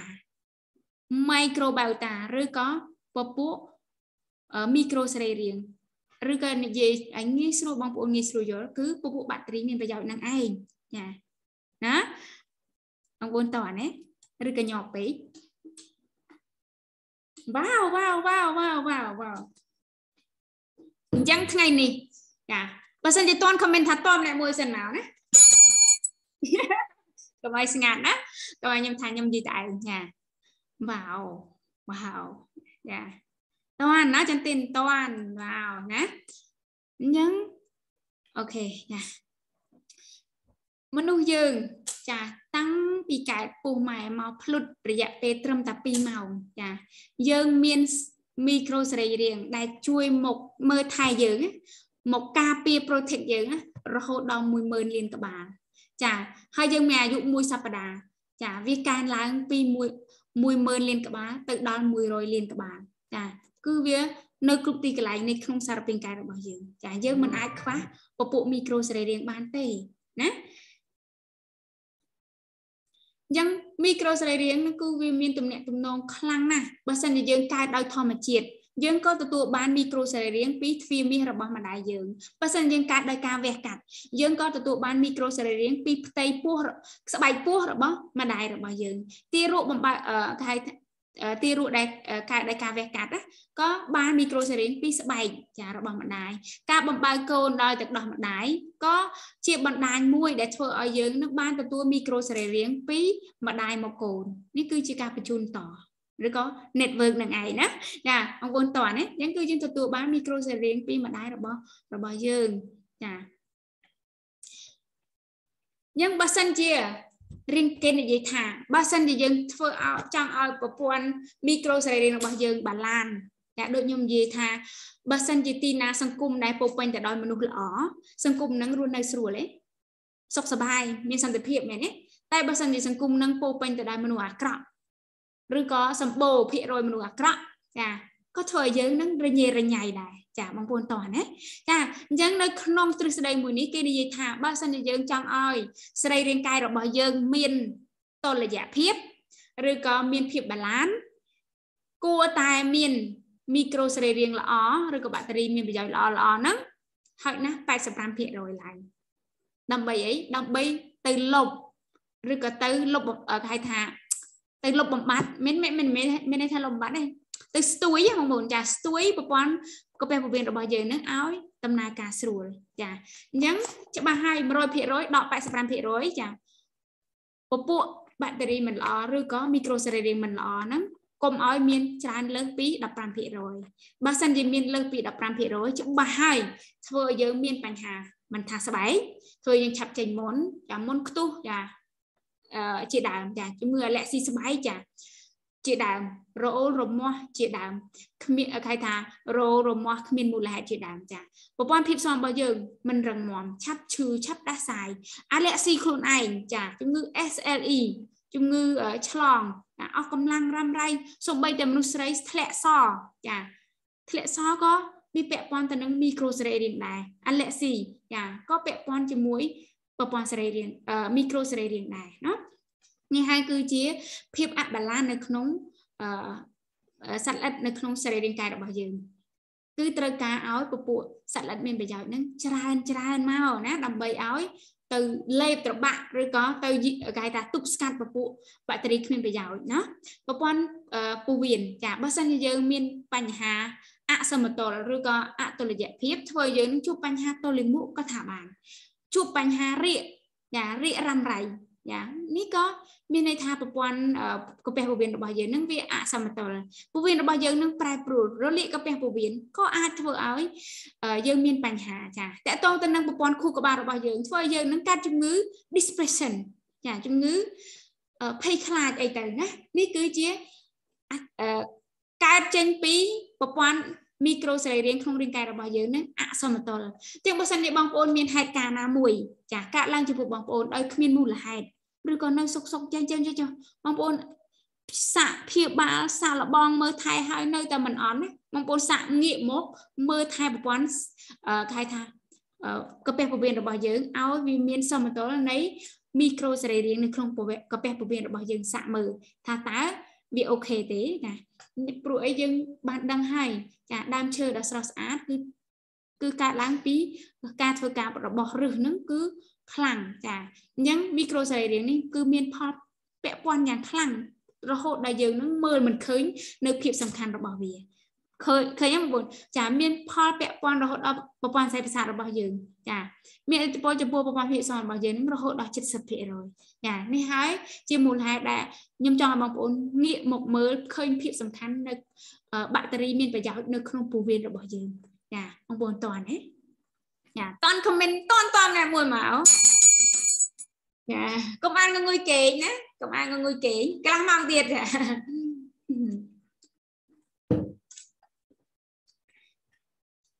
ចាតើកត្តាអ្វីខ្លះដែលធ្វើឲ្យប្រព័ន្ធសរីរាង្គរបស់យើងហ្នឹងអសមតុល្យអាខ្ញុំនិយាយថាធ្លាក់ចុះខ្សោយចុះមិនអ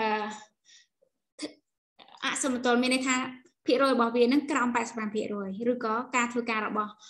មីក្រូសរីរាង្គរបស់យើងនឹងធ្លាក់ចុះខ្សោយចាទី1គឺអាយុ អាយុយើងកាន់តែច្រើនឡើងច្រើនឡើងអញ្ចឹងអ្នកដែលមានអាយុច្រើនអាយុច្រើនវាវាគ្មានកំហុសទេចាប៉ុន្តែសំខាន់គឺសត្វល្អិតរបស់យើងហ្នឹងនៅជាមួយយើងយូរហើយពួកគាត់ក៏អាយុច្រើនដែរក៏ការធ្វើការរបស់គាត់នឹងក៏ខ្សោយដែរណាចាបងប្អូនតណាចាបញ្ហាស្មុគស្មាញចាការញ៉ាំម្សៅច្រើនណាអាហារប្រភេទម្សៅចាប្រភេទម្សៅបងប្អូនដឹងណាប្រភេទម្សៅមានអីខ្លះចាអាហារមិនស្អាត junk food ចាអាហារមានជាតិស្ករច្រើនចាថ្នាំណា ថ្នាំនេះខ្ញុំយឺលឺមែនតើណាចាមិនឈាថ្នាំទេថ្នាំប្រភេទអង់ទីប៊ីយូទិកដែលសារប្រភេទថ្នាំគឺសម្រាប់មេរោគចាឧបមាថាយើងឈឺជំងឺមេរោគរលាកកាពះចុះចារលាកកាពះគឺយើងញ៉ាំថ្នាំសម្រាប់មេរោគឲ្យបញ្ហារលាករបស់យើងនឹងឆាប់ផ្សះប៉ិតមែនទេអញ្ចឹងនៅពេលដែលយើងញ៉ាំថ្នាំប្រភេទហ្នឹងភាគច្រើនវាទៅធ្វើតុកពពួកអាសត្វល្អិតនៅក្នុងពោះវៀនរបស់យើងដែលជាមូលហេតុធ្វើយើងញ៉ាំថ្នាំរយៈពេលយូរយើងក្តៀន ណាយើងញ៉ាំថ្នាំរយៈពេលយូរពពុះមីក្រូសរីរាង្គរបស់យើងតើណាការអត់ស្រួលទេណាហ្នឹងហើយគឺជាមូលហេតុអានេះគឺខ្ញុំនិយាយឲ្យរៀនយូរបន្តិចចាសម្រាប់មិនគ្រប់គ្រាន់ណាចូលចិត្តញ៉ាំបរិយចាខ្វះការហាត់ប្រាណចាអត់សូវបានហាត់ប្រាណចាញ៉ាំគ្រឿងសង្វឹងច្រើនចាញ៉ាំអាហារដែលមានជាតិកាហ្វេអ៊ីនណាកាហ្វេអ៊ីនមានមិនត្រឹមតែមាននៅក្នុងកាហ្វេទេមាននៅក្នុងពពុះមានកាហ្វេអ៊ីនមានគ្រឿងកំប៉ុងដែរក៏មានពពុះអ៊ីនអ៊ីនដែរណាអូខេបងប្អូនចាតន់ណាចាតន់ បងប្អូនខមមិន10ម្នាក់មួយមកនេះគឺជាកត្តាទាំង10យ៉ាងចាពេលយើងដឹងហើយជិះបានអត់ចាជិះបានជួយខមមិនបានឬក៏ yes yes ម្នាក់មួយមកចា yes yes បងបង Jessica ចា yes yes yes yes yes yes ចាតែប៉ាត់គឺមានកត្តាច្រើនជាងនឹងទៀតប៉ុន្តែនេះគឺជាកត្តាដែលយើងវា វាច្បាស់ហ៎ចាវាច្បាស់ចាបញ្ហាស្មុគស្មាញបញ្ហា stress គិតច្រើននេះក៏ធ្វើឲ្យមីក្រូសរីរាង្គរបស់យើងនឹងគិតដូចយើងដែរដោយសារអីដោយសារក្នុងពោះវៀនរបស់យើងមានប្រព័ន្ធសៃប្រសាទទី2បន្ទាប់ពីខួរក្បាលបើខួរក្បាលយើងគិតណាពោះវៀនរបស់យើងក៏គិតដែរដែលជាមូលហេតុធ្វើឲ្យយើង stress គិតច្រើនណាធ្វើយើងជួបជំងឺបន្ទាប់មកទៀតគឺក្រពះពោះវៀនស្រែករោគណានេះគឺជា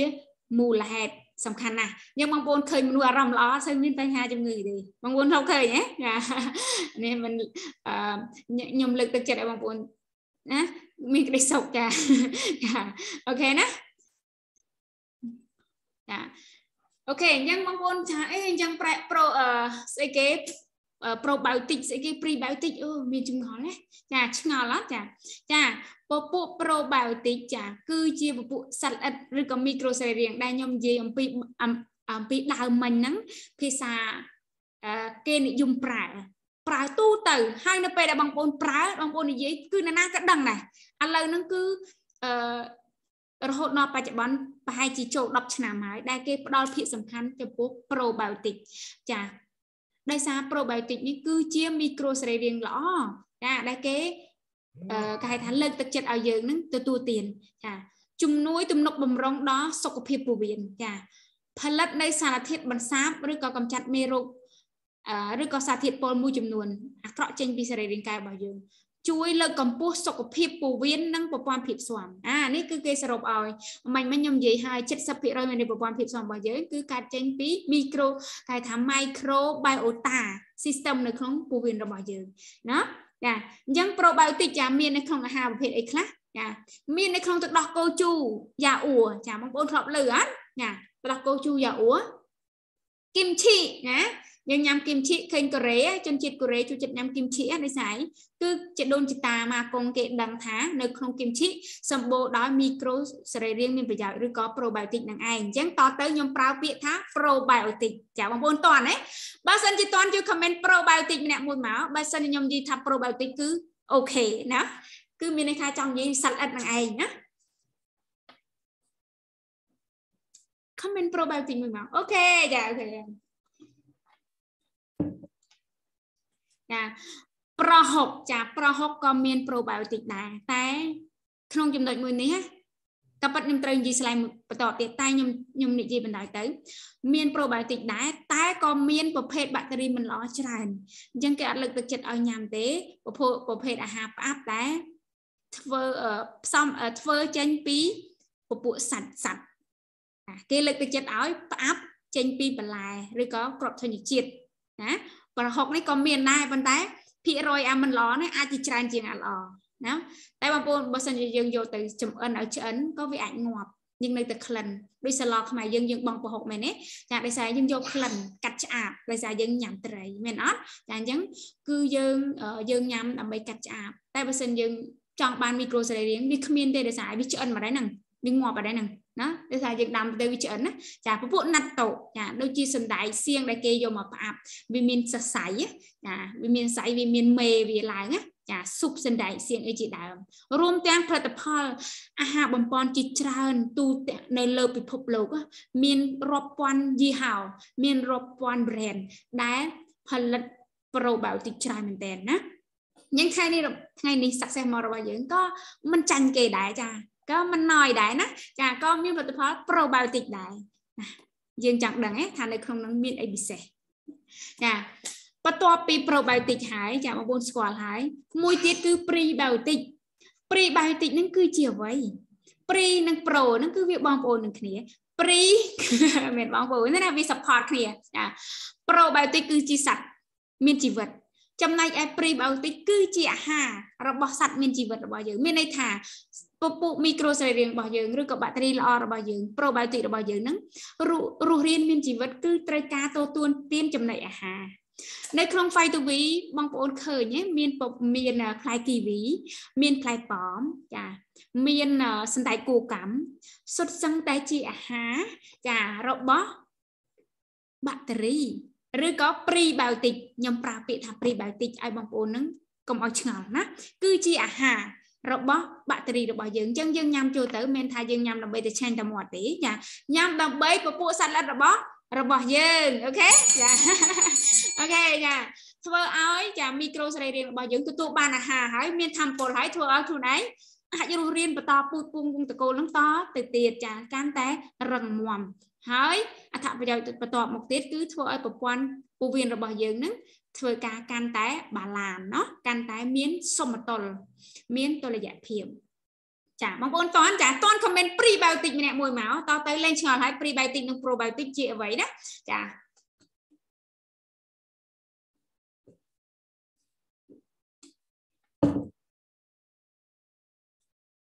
អូខេចា prebiotic អូខេចាចាអូខេចាដូចខ្ញុំជម្រាបជូនអញ្ចឹង ប្រព័ន្ធនៅក្នុងសរីរាង្គកាយរបស់យើងឬក៏ microbiota ហ្នឹងគួរតែវាបាឡានមានប្រជាជនល្អល្អហ្នឹងហោចណាស់85%ឡើងតែបើសិនជាក្រោម85%ទីកន្លែងរបស់យើងក៏មានបញ្ហាដែរជាពិសេសប្រព័ន្ធកាពះពោះវៀនរបស់យើងមានបញ្ហាណាអូខេចានេះគេនិយាយថា gut brain axis ចាមានន័យថាប្រព័ន្ធសេប្រសាទអឺនៅក្នុងខួរក្បាលរបស់យើង គឺវាពាក់ព័ន្ធទៅនឹងពោះវៀនរបស់យើង gut microbiota ហ្នឹងគឺដោយសារប្រព័ន្ធសរសៃប្រសាទនៅក្នុងពោះវៀនរបស់យើងវាធ្វើការពាក់ព័ន្ធជាមួយនឹងខួរក្បាលហើយធ្វើឲ្យការគិតចាការសបាយភាពរីករាយចាអារម្មណ៍ផ្សេងផ្សេងវាទំនាក់ទំនងគ្នាណាបានគេប្រើពាក្យថាកាត់ microbiota កាត់នេះគឺពោះវៀនណា microbiota គឺសត្វល្អិតទូចៗនៅក្នុងពោះវៀនរបស់យើងគឺវាពាក់ព័ន្ធទៅនឹង ខួរក្បាលរបស់យើងណាហើយនៅពេលដែលយើងមានបញ្ហាអបលាអសមតុល្យគឺ skin ចាដូចខ្ញុំជម្រាបជូនអញ្ចឹងវាកើតបញ្ហារួមទាំងបញ្ហាអូច្រើនណាច្រើនអេនេះបងប្អូនចាបើសិនយើងញ៉ាំរបស់ផ្អាប់បាក់តេរីមិនល្អបាក់តេរីរបស់ផ្អាប់កើតចេញពីសាច់វាអាចមានបាក់តេរីមិនល្អដែលជាមូលហេតុធ្វើឲ្យយើងទៅទៅ support នឹងមេរោគមហារីកអញ្ចឹងពាក្យថាមហារីកអត់ចង់និយាយសោះចា យើងធ្វើបែបណាទៅទទួលបាននៅតុល្យភាពគឺគួរតែទទួលទាន prebiotic និង probiotic ឲ្យវាបាឡានចា prebiotic ឬក៏ភាសាមួយទៀតគេហៅថា fructo oligosaccharide ឬ FOS ណាឬក៏អ្នកខ្លះហៅ GOS ចាឬក៏ XOS ចាឬក៏ inulin ណាអញ្ចឹងបើសិនជាបងប្អូនមើលក្នុងផលិតផលមួយមួយបើសិនជាគេដាក់សារធាតុទាំងនេះមានន័យថាគេកំពុងតែដាក់ prebiotic ឬក៏អាហារល្អៗឲ្យបាក់តេរីរបស់យើងហើយណាបងប្អូនណារៀនមើលតាគឺជាភាសាដែលគេពេញនិយមប្រើបើ phytovir របស់យើងគឺ fructooligosaccharides ណាហើយនឹង inulin ចាអូខេនេះគឺជារូបមន្តដើម្បីទទួលបាននៅពពួក prebiotic ចេញពីបន្លែផ្លែឈើមួយចំនួនបងប្អូនអាច capture តុកដើម្បីតុកមើលថាអេចង់ញ៉ាំអីនេះចង់ញ៉ាំអីណាដើម្បី support prebiotic របស់យើងបើសិនជានឹកមិនឃើញក៏អាចមើលរូបភាពហើយទៅទិញតាមរូបភាពតែម្ដងទៅណាokay ចា okay មួយនេះគឺខ្ញុំនិយាយហើយចា okay អញ្ចឹងយើងមើលចំណុចខ្លាំងចានៅក្នុង probiotic របស់យើងអញ្ចឹងយើងបានដឹងហើយបើសិនយើងចង់បាន probiotic មានប្រយោជន៍គួរតែញ៉ាំប្រភេទអាហារផ្អាប់ទៅដោះគោជូរយ៉ាអ៊ូអីជាដើមដែរអាហារទាំងហ្នឹងគឺមានប្រភេទប្រភេទ probiotic នៅក្នុងហ្នឹងចាប៉ុន្តែចំណុចសំខាន់ចានៅពេលដែល បងប្អូនទទួលទានអាហារប្រភេទទាំងហ្នឹងបើសិនជាកម្មវិធីក្នុងការផលិតល្អមានអនាម័យយើងក៏ទទួលបានរបស់ល្អល្អចូលទៅប៉ុន្តែបើសិនជាការផលិតឧបមាថាដូចទៅដោះគោជូរឬក៏យ៉ាអ៊ូចាខ្លះសេអត់ដល់ ក៏អាចធ្វើឲ្យពពួក probiotic ហ្នឹងក៏អាចបាត់បង់ជីវិតទៅដោយមិនដឹងខ្លួនយើងអាចញ៉ាំទៅដោះគោជូរជូរមិនមែនតែជូរហ្នឹងក៏យើងអាចបានបាក់តេរីគ្មានប្រយោជន៍ឬក៏បាក់តេរីបេតបាក់តេរីក៏ថាបានដែរអញ្ចឹងយើងអត់មានអីមកការ៉ាន់ទីចាវាពិបាកក្នុងការគ្រប់គ្រងប៉ុន្តែលក្ខណៈពិសេសរបស់ probiotic របស់យើងចាលក្ខណៈពិសេសរបស់យើងដោយសារ probiotic របស់យើងមានចាពពួកមីក្រូសរីរាង្គណា10 10ប្រភេទ 10ពូជចាខ្ញុំនិយាយថា10ពូជណា10អឺ10អំបូរចា10អំបូរណាមីក្រូសរីរាង្គ10អំបូរអំបញ្ញមិញខ្ញុំនិយាយឲ្យថាក្នុងរាងកាយរបស់យើងមានរហូតដល់35000អំបូរច្រើនណាស់ចាតែនៅក្នុងនេះគឺមាន10អំបូរចាមួយកញ្ចប់មាន10អំបូរមានចំនួនរហូតដល់20000លានក្បាល20000លានក្បាលចាញ៉ាំចូលទៅណាហើយគឺមានបច្ចេកវិទ្យា file layer លក្ខណៈពិសេស file layer ហើយដែលបានជាគេប្រើបច្ចេកវិទ្យា file layer តិចទៀតខ្ញុំជម្រាបជូនបងប្អូនបានដឹងថាពេលដែលយើងញ៉ាំអាហារចូលទៅមួយចំនួនណាអឺកាពះពោះវៀនរបស់យើងគឺមានសភាពជាអាស៊ីតគឺទៅគេហៅថាអឺបាក់តេរីមួយចំនួនពេលយើងញ៉ាំចូលទៅគឺត្រូវបានអាស៊ីតក្នុងកាពះហ្នឹងរំលាយឬក៏ស្លាប់យើងធ្វើឲ្យសមត្ថភាពការរស់រានមានជីវិត បាននៅពេលដែលឆ្លងកាត់កាពះភាគច្រើនគឺទៅអត់រួចនៅសារគឺវាស្លាប់នៅក្នុងដំណាក់កាលកាពះរំលាយហើយហ្នឹងចាដែលធ្វើឲ្យយើងញ៉ាំចូលទៅពេលខ្លះគឺយើងបានភាគរយតិចមែនតើហើយមិនត្រឹមតែប៉ុណ្ណឹងអឺក្នុងបច្ចេកវិទ្យា file layer មានលក្ខណៈពិសេសគឺយើងអត់ចាយើងអត់ណាចាហើយលក្ខណៈមួយទៀតនៅពេលដែលយើងញ៉ាំ probiotic ចូលទៅ គឺជាពូជណាពូជ10ពូជនេះ គឺជាពូជដែលស្អិតជាប់នឹងចាំងពោះវៀនបានល្អហើយអឺការពារមីក្រូសរីរាង្គមិនឲ្យបាត់បង់ពីពោះវៀនមានន័យថាវាវាស្អិតចាពូជហ្នឹងពូជខ្លាំងណាអាចចាប់ដូចទីចង់អឺដូចតកែអញ្ចឹងចាដៃជើងវាដូចតកែអញ្ចឹងចាមើលស្គាល់តកែចាបើចង់ដឹងថាស្អិតប៉ុណ្ណាឲ្យតកែចាប់សាក់មើលចាចាហើយមានផ្ទុកចា ព្រីបៃអូទិកណាមានផ្ទុកអាហាររបស់ព្រីអាហាររបស់ប្រូបៃតិកហ្នឹងរហូតដល់2000មីលីក្រាមដែលជួយធ្វើឲ្យប្រូបៃតិករបស់យើងហ្នឹងលូតលាស់បានល្អអញនិយាយបានថាដូចយើងញ៉ាំចូលទៅពពួកប្រូបៃតិកមែនតែប្រូបៃតិកហ្នឹងគឺមានដាក់អាហារស្បៀងនៅក្នុងនឹងស្រាប់មានដាក់ចាក់បាយច័ន្ទស្រាក់ទៅក្នុងនឹងស្រាប់អញ្ចឹងគឺគេអត់ខ្វល់ទេសំខាន់គឺគេមានអាហារសគួរស្រេចណា នេះគឺជាលក្ខណៈពិសេសចំណុចខ្លាំងរបស់ probiotic របស់យើងចាអូខេអញ្ចឹង probiotic របស់យើង ពេលយើងញ៉ាំចូលទៅ គឺជាអាហារចាជាអាហារ prebiotic គឺជាអាហារហើយយើងញ៉ាំ probiotic ចូលទៅគឺយើងញ៉ាំបាក់តេរីល្អដែលធ្វើឲ្យសរីរាង្គកាយរបស់យើងនឹងកើតភាពបាឡានឬក៏ហៅប្រើពាក្យថា probiotic ដែលធ្វើឲ្យគេហៅថា អ្វីសត្វល្អិតនៅក្នុងពោះវៀនរបស់យើងនឹងដំណើរការបានស្រួលចាអូខេអញ្ចឹងសួរថា probiotic រហូតដល់20000លានក្បាលនេះហើយក៏មានរហូតដល់10អំបូរចាមានអំបូរអីខ្លះចាបងប្អូនចង់ដឹងអត់ចាអឺ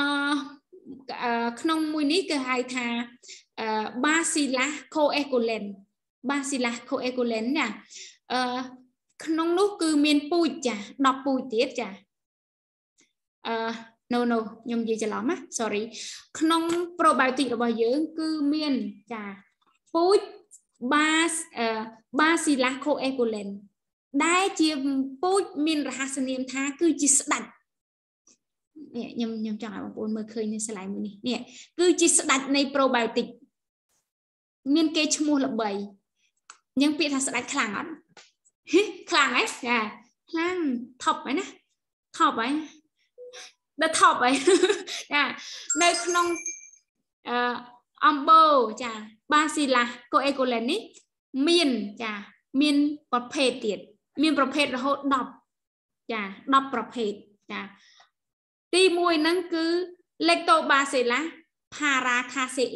ចាខ្ញុំជឿជាក់ថាខ្ញុំនិយាយទៅ បងប្អូនក៏អត់ចាំដែរតែខ្ញុំចង់ឲ្យបងប្អូនស្ដាប់ថាវាព្រោះប៉ុណ្ណាចា Lactobacillus C acidophilus ណាខ្ញុំជឿជាក់ថាវាក៏ពិបាកអញ្ចឹងវាមានរហូតដល់10ប្រភេទដែលជាប្រភេទខ្លាំងហើយរាងកាយរបស់យើងភាគច្រើនគឺខ្វះចាដោយសារអឺលោកដុកទ័រដឹងថារាងកាយរបស់យើងនៅពេលអាយុកាន់តែច្រើនគឺខ្វះហើយពពួកបាក់តេរីមួយនេះណាបើសិនជាវាបាត់បង់ទៅគឺបាត់បង់តែម្ដង អត់កើតមកទៀតទេចាអត់កើតមកទៀតទេលើកលែងយើងញ៉ាំចូលទៅអញ្ចឹងហើយបានជាក្រុមហ៊ុនរបស់យើង បានបង្កើត probiotic ហើយជ្រើសរើសប្រភេទពូជចា Bacillus coagulant នេះដោយសារគឺជាស្ដាច់ចាស្ដាច់នៃ probiotic ឯងអញ្ចឹងគឺស្ដាច់ គ្មានណាខាងយើងស្ដាច់ទេចាមានតែមានតែដឹក queen មែនទេចាចាមីក្រូសរីរាង្គល្អល្អចានៅក្នុងឧស្សាហកម្មអាហារបំពន់អញ្ចឹងភាគច្រើនដែលគេផលិតអាហារបំពន់គឺគេជ្រើសរើសពូជចាដែលខ្លាំងខ្លាំងចាហើយគឺត្រូវបានស្រាវជ្រាវចាអឺធ្វើឲ្យអត្រារស់រានមានជីវិតនៅក្នុងពោះវៀននឹងខ្ពស់ពេលយើងញ៉ាំចូលទៅគឺអាចអាចចង់និយាយថាយើងញ៉ាំចូលទៅហើយអឺ ការបំផ្លាញរបស់ទឹកជាតិអាស៊ីតនៅក្នុងកាពះហ្នឹងវាបំផ្លាញតិចតួចចាមានន័យថាអត្រាការរស់រានមានជីវិតហ្នឹងខ្ពស់ចាច្រើនជាងអឺពពុះមីក្រូដែលមាននៅក្នុងទឹកដោះគោយ៉ាអ៊ូធម្មតាហ្នឹងរហូតដល់10ដងចាគឺច្រើនជាងណាហើយចាលក្ខណៈពិសេស នៅក្នុង probiotic របស់យើងដោយសារមានបច្ចេកវិទ្យា file layer file layer ហ្នឹងគឺ5ជាន់ចាជាន់ទី1នោះគឺធ្វើឲ្យសារធាតុចាអាចមានរយៈពេលយូរ ចាជាន់ទី1ចាជាន់ទី2គឺធន់នឹងកម្ដៅអញ្ចឹងហើយបានជាសារធាតុមួយចំនួន probiotic មួយចំនួនត្រូវតែ class A តែបើយើងញ៉ាំ probiotic អត់ចាំបាច់ class A ទេដោយសារវាអាចធន់នឹងស្ថានភាពបានវាមាន five layer ចាមានជាន់ទី2នឹងឯងចាជាន់ទី3គឺធន់នឹងជាតិអាស៊ីតចាដែលខ្ញុំបានជម្រាបជូនមិញចាចាជាន់ទី4ធន់នឹងទឹកចាហើយជាន់ទី5គឺជាជាន់ដែលជួយបង្កើនភាពស្អិតចាអញ្ចឹងនៅពេលយើងញ៉ាំទៅទៅគឺវាស្អិត ដោយសារវាមាន five layer គឺជាបច្ចេកវិទ្យាទទួលស្គាល់នៅ ប្រទេសតៃវ៉ាន់ណានេះគឺជាលក្ខណៈពិសេសអញ្ចឹង probiotic របស់យើងការវិខ្ចប់គឺមកពីប្រទេសតៃវ៉ាន់តែម្ដងចាជាបច្ចេកវិទ្យាដែលទទួលស្គាល់រង្វាន់ Nobel Prize ទៀតណានេះគឺជាលក្ខណៈពិសេសរបស់ក្រុមហ៊ុន Success More របស់យើងវ៉ាវអត់បងប្អូនវ៉ាវ comment វ៉ាវម្នាក់មួយមកចា ចា okay okay បងចាបងស្រីអូនអូមានកម្លាំងចិត្តហើយបងស្រីអូន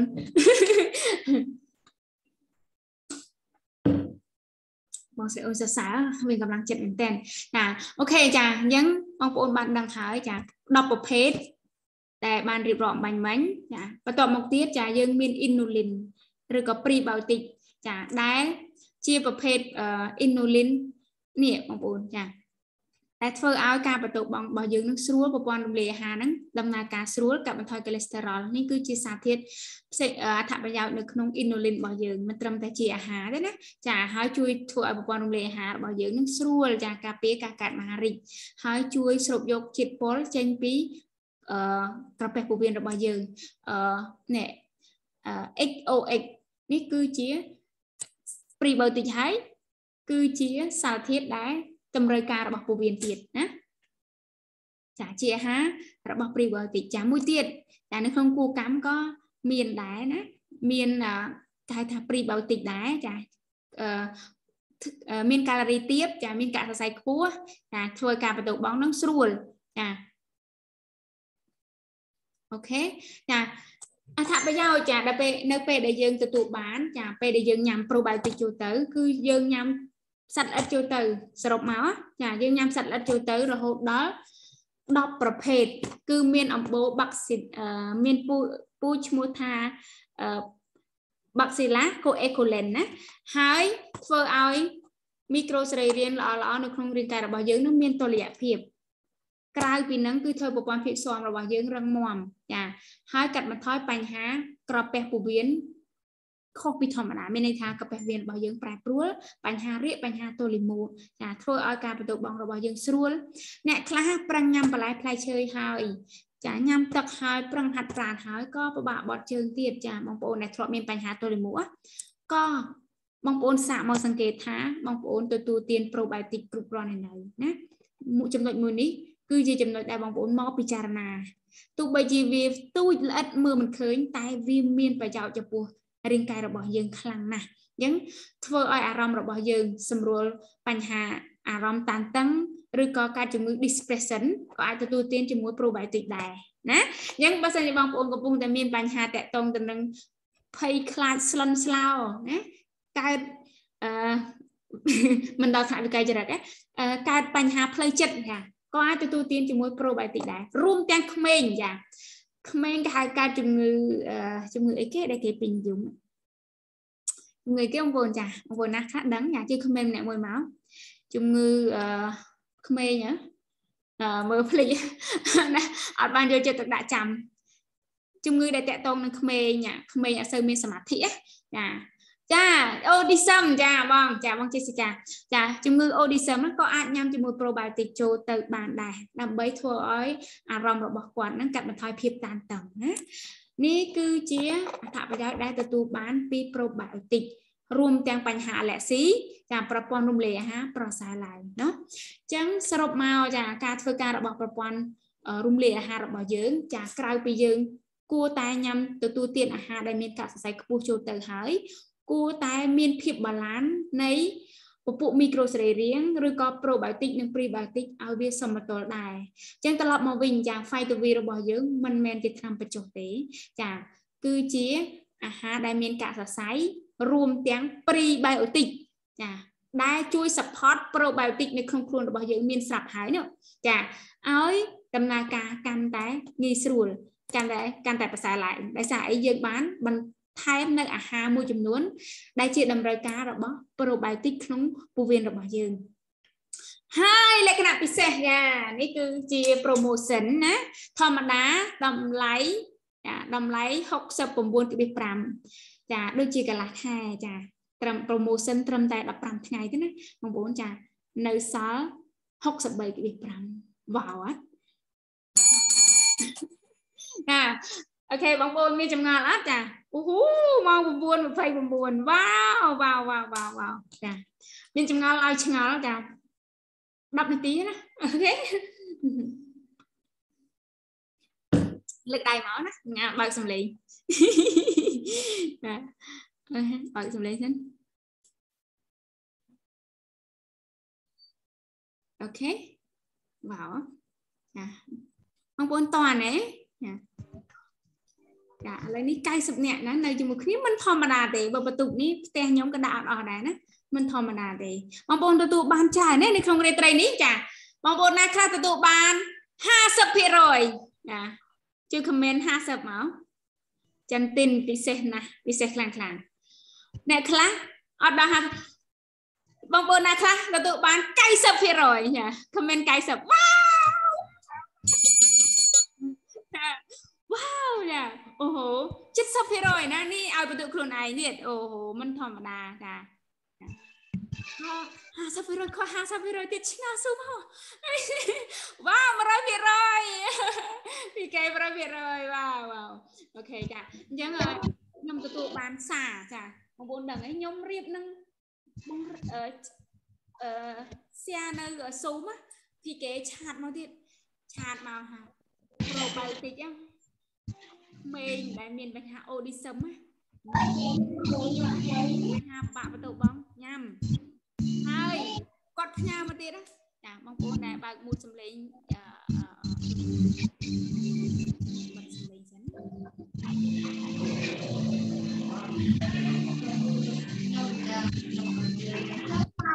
មូតមូតបាត់សំឡេងសិនអត់កែទេចាចាអូខេចាអឺបងកេឆាតមកទៀតថា ស្ត្រីមានបញ្ហាធ្លាក់សចា probiotic ជួយបានណានេះគឺលក្ខណៈពិសេសដោយសារអីនៅពេលដែលយើងធ្លាក់សគឺកន្លែងហ្នឹងពោពេញទៅដោយបាក់តេរីគ្មានប្រយោជន៍ចាបាក់តេរីមិនល្អវាទៅ បំផ្លាញត្រង់ហ្នឹងណាយើងយើងញ៉ាំ probiotic ចូលទៅដើម្បីឲ្យបាក់តេរីរបស់យើងនឹងចាត់ការគ្នាឯងណា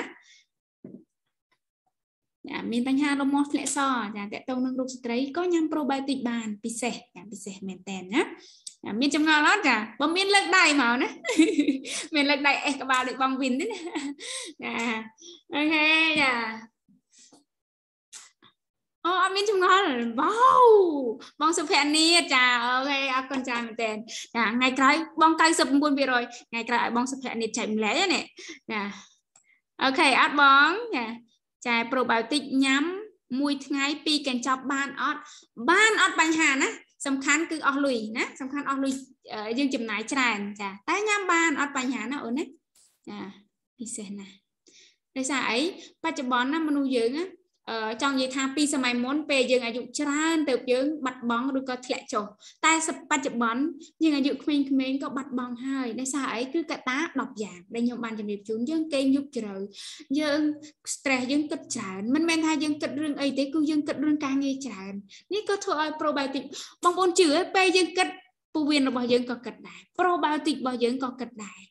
ធ្វើការតំណតំណងយូរខួរក្បាលរបស់យើងចាអញ្ចឹងយើងគិតច្រើនយើងគេងអត់ឆ្អែត ក៏ probiotic របស់យើងនឹងបាត់បង់បាត់បង់ដោយសារឯបច្ចុប្បន្នយើងគេងយប់ជ្រៅពិតមែនទេពីសម័យមុនម៉ោង7ម៉ោង8ចាស់ចាស់ចូលគេងហើយតែសម័យឥឡូវតាំងពីសម័យតនសម័យយប់ជ្រៅមែនទេចាមានអ្នកបងប្អូនយើងឆ្ងល់សួរទៀតអត់ចាអរគុណសម្រាប់មេរៀនល្អល្អយប់នេះចាអរគុណច្រើនបងសុចាបងសុថ្ងៃក្រោយចែកម្លែកណាបងញ៉ាំហើយចែកម្លែក ចាពិសេសមែនតើណាអូខេឃើញថាបងប្អូនអត់មានឆ្ងល់ទេចាលើកទឹកចិត្តឲ្យឆាប់ចូលគេងមក9:33នាទីហើយចាអរគុណច្រើនចាបងប្អូនដែលបាននៅជាមួយគ្នាចាផ្ដល់កម្លាំងចិត្តឲ្យគ្នាទៅវិញទៅមកចាហើយកាន់តែពិសេសកាន់តែខ្ញុំកាន់តែមានគេថាថាសប្បាយចិត្ត មានមោទនភាពនោះគឺបងប្អូនបានយកចំណេះដឹងថ្ងៃនេះយកទៅប្រើយកទៅបង្ហាត់បង្រៀនក្រុមការងារមិនថាមួយអ្នកក្តីចាបងរៀនតមិនថាមួយអ្នកក្តីពីរអ្នកក្តី3អ្នកក្តីនឹងធ្វើឲ្យបងប្អូនកាន់តែពូកែណាអញ្ចឹងលើកទឹកចិត្តឲ្យបងប្អូនយកទៅបង្ហាត់បង្រៀនតបើសិនជាមានចម្ងល់ឆ្ងល់ឆាតសួរបានគ្រប់ពេលណាអរគុណច្រើនចាញ៉ាំ probiotic អូខេល្អមែនតើចាអរគុណច្រើនចា អញ្ចឹងយើងនឹងបែកគ្នាណាបងប្អូនអត់មានឆ្ងល់ទេចាយើងនឹងជួបគ្នានៅសប្តាហ៍ក្រោយទៀតជាមួយនឹងផលិតផល SOD ណា SOD សប្តាហ៍ក្រោយថ្ងៃប្រហោះក្រោយចាយើងនឹងជួបជាមួយផលិតផល SOD ហើយកាន់តែពិសេសបងប្អូន SOD របស់យើង promotion បញ្ចុះតម្លៃនៅសល់ប៉ុន្មានបងប្អូនណាខ្លះដឹងចាឆ្លើយទៅឆ្លើយត្រូវឲ្យរង្វាន់ចាទៅយក SOD នៅក្រុមហ៊ុនបាន មកប្រអប់ហ្មងចាមកប្រអប់22ដុល្លារណាមកប្រអប់22ដុល្លារធូរថ្លៃមែនតើចាអញ្ចឹងបើសិនជាបងប្អូនញ៉ាំតារ៉េនណាតារ៉េនមួយផ្លែអានេះខ្ញុំសម្រាប់ខ្ញុំណាចាខ្ញុំញ៉ាំមួយផ្លែអឺតម្លៃ20 20ដុល្លារខ្ញុំញ៉ាំអស់តែឯងមួយថ្ងៃតែឥឡូវនេះពេលចង់ញ៉ាំតារ៉េននឹកឃើញ SOD ថាញ៉ាំ SOD មកផ្អប់ញ៉ាំបានកន្លះខែអញ្ចឹងថែមទៅ2ដុល្លារទៀតអូហូអញ្ចឹងឃើញថាក្រុមហ៊ុនគិតគូរដល់អ្នកធុរកិច្ចរបស់យើងចាខែមុនហ្នឹងគឺយើងធ្វើការធ្ងន់អញ្ចឹងខែនេះឲ្យរង្វាន់ខ្លួនឯងចា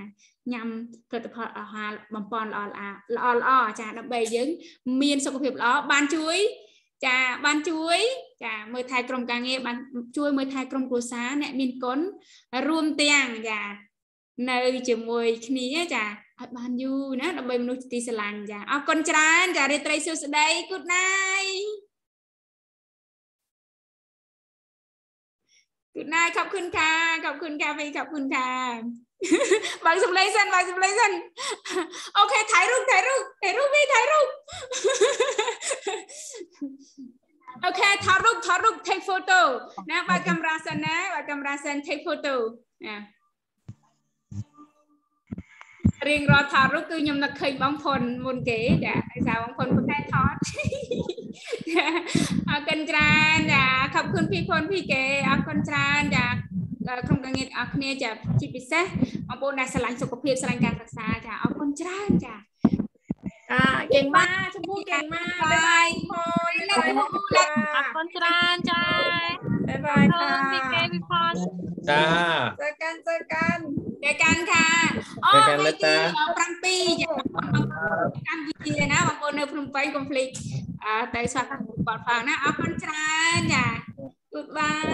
เก่งมากชมพู่บ๊ายบายครับ บ๊ายบาย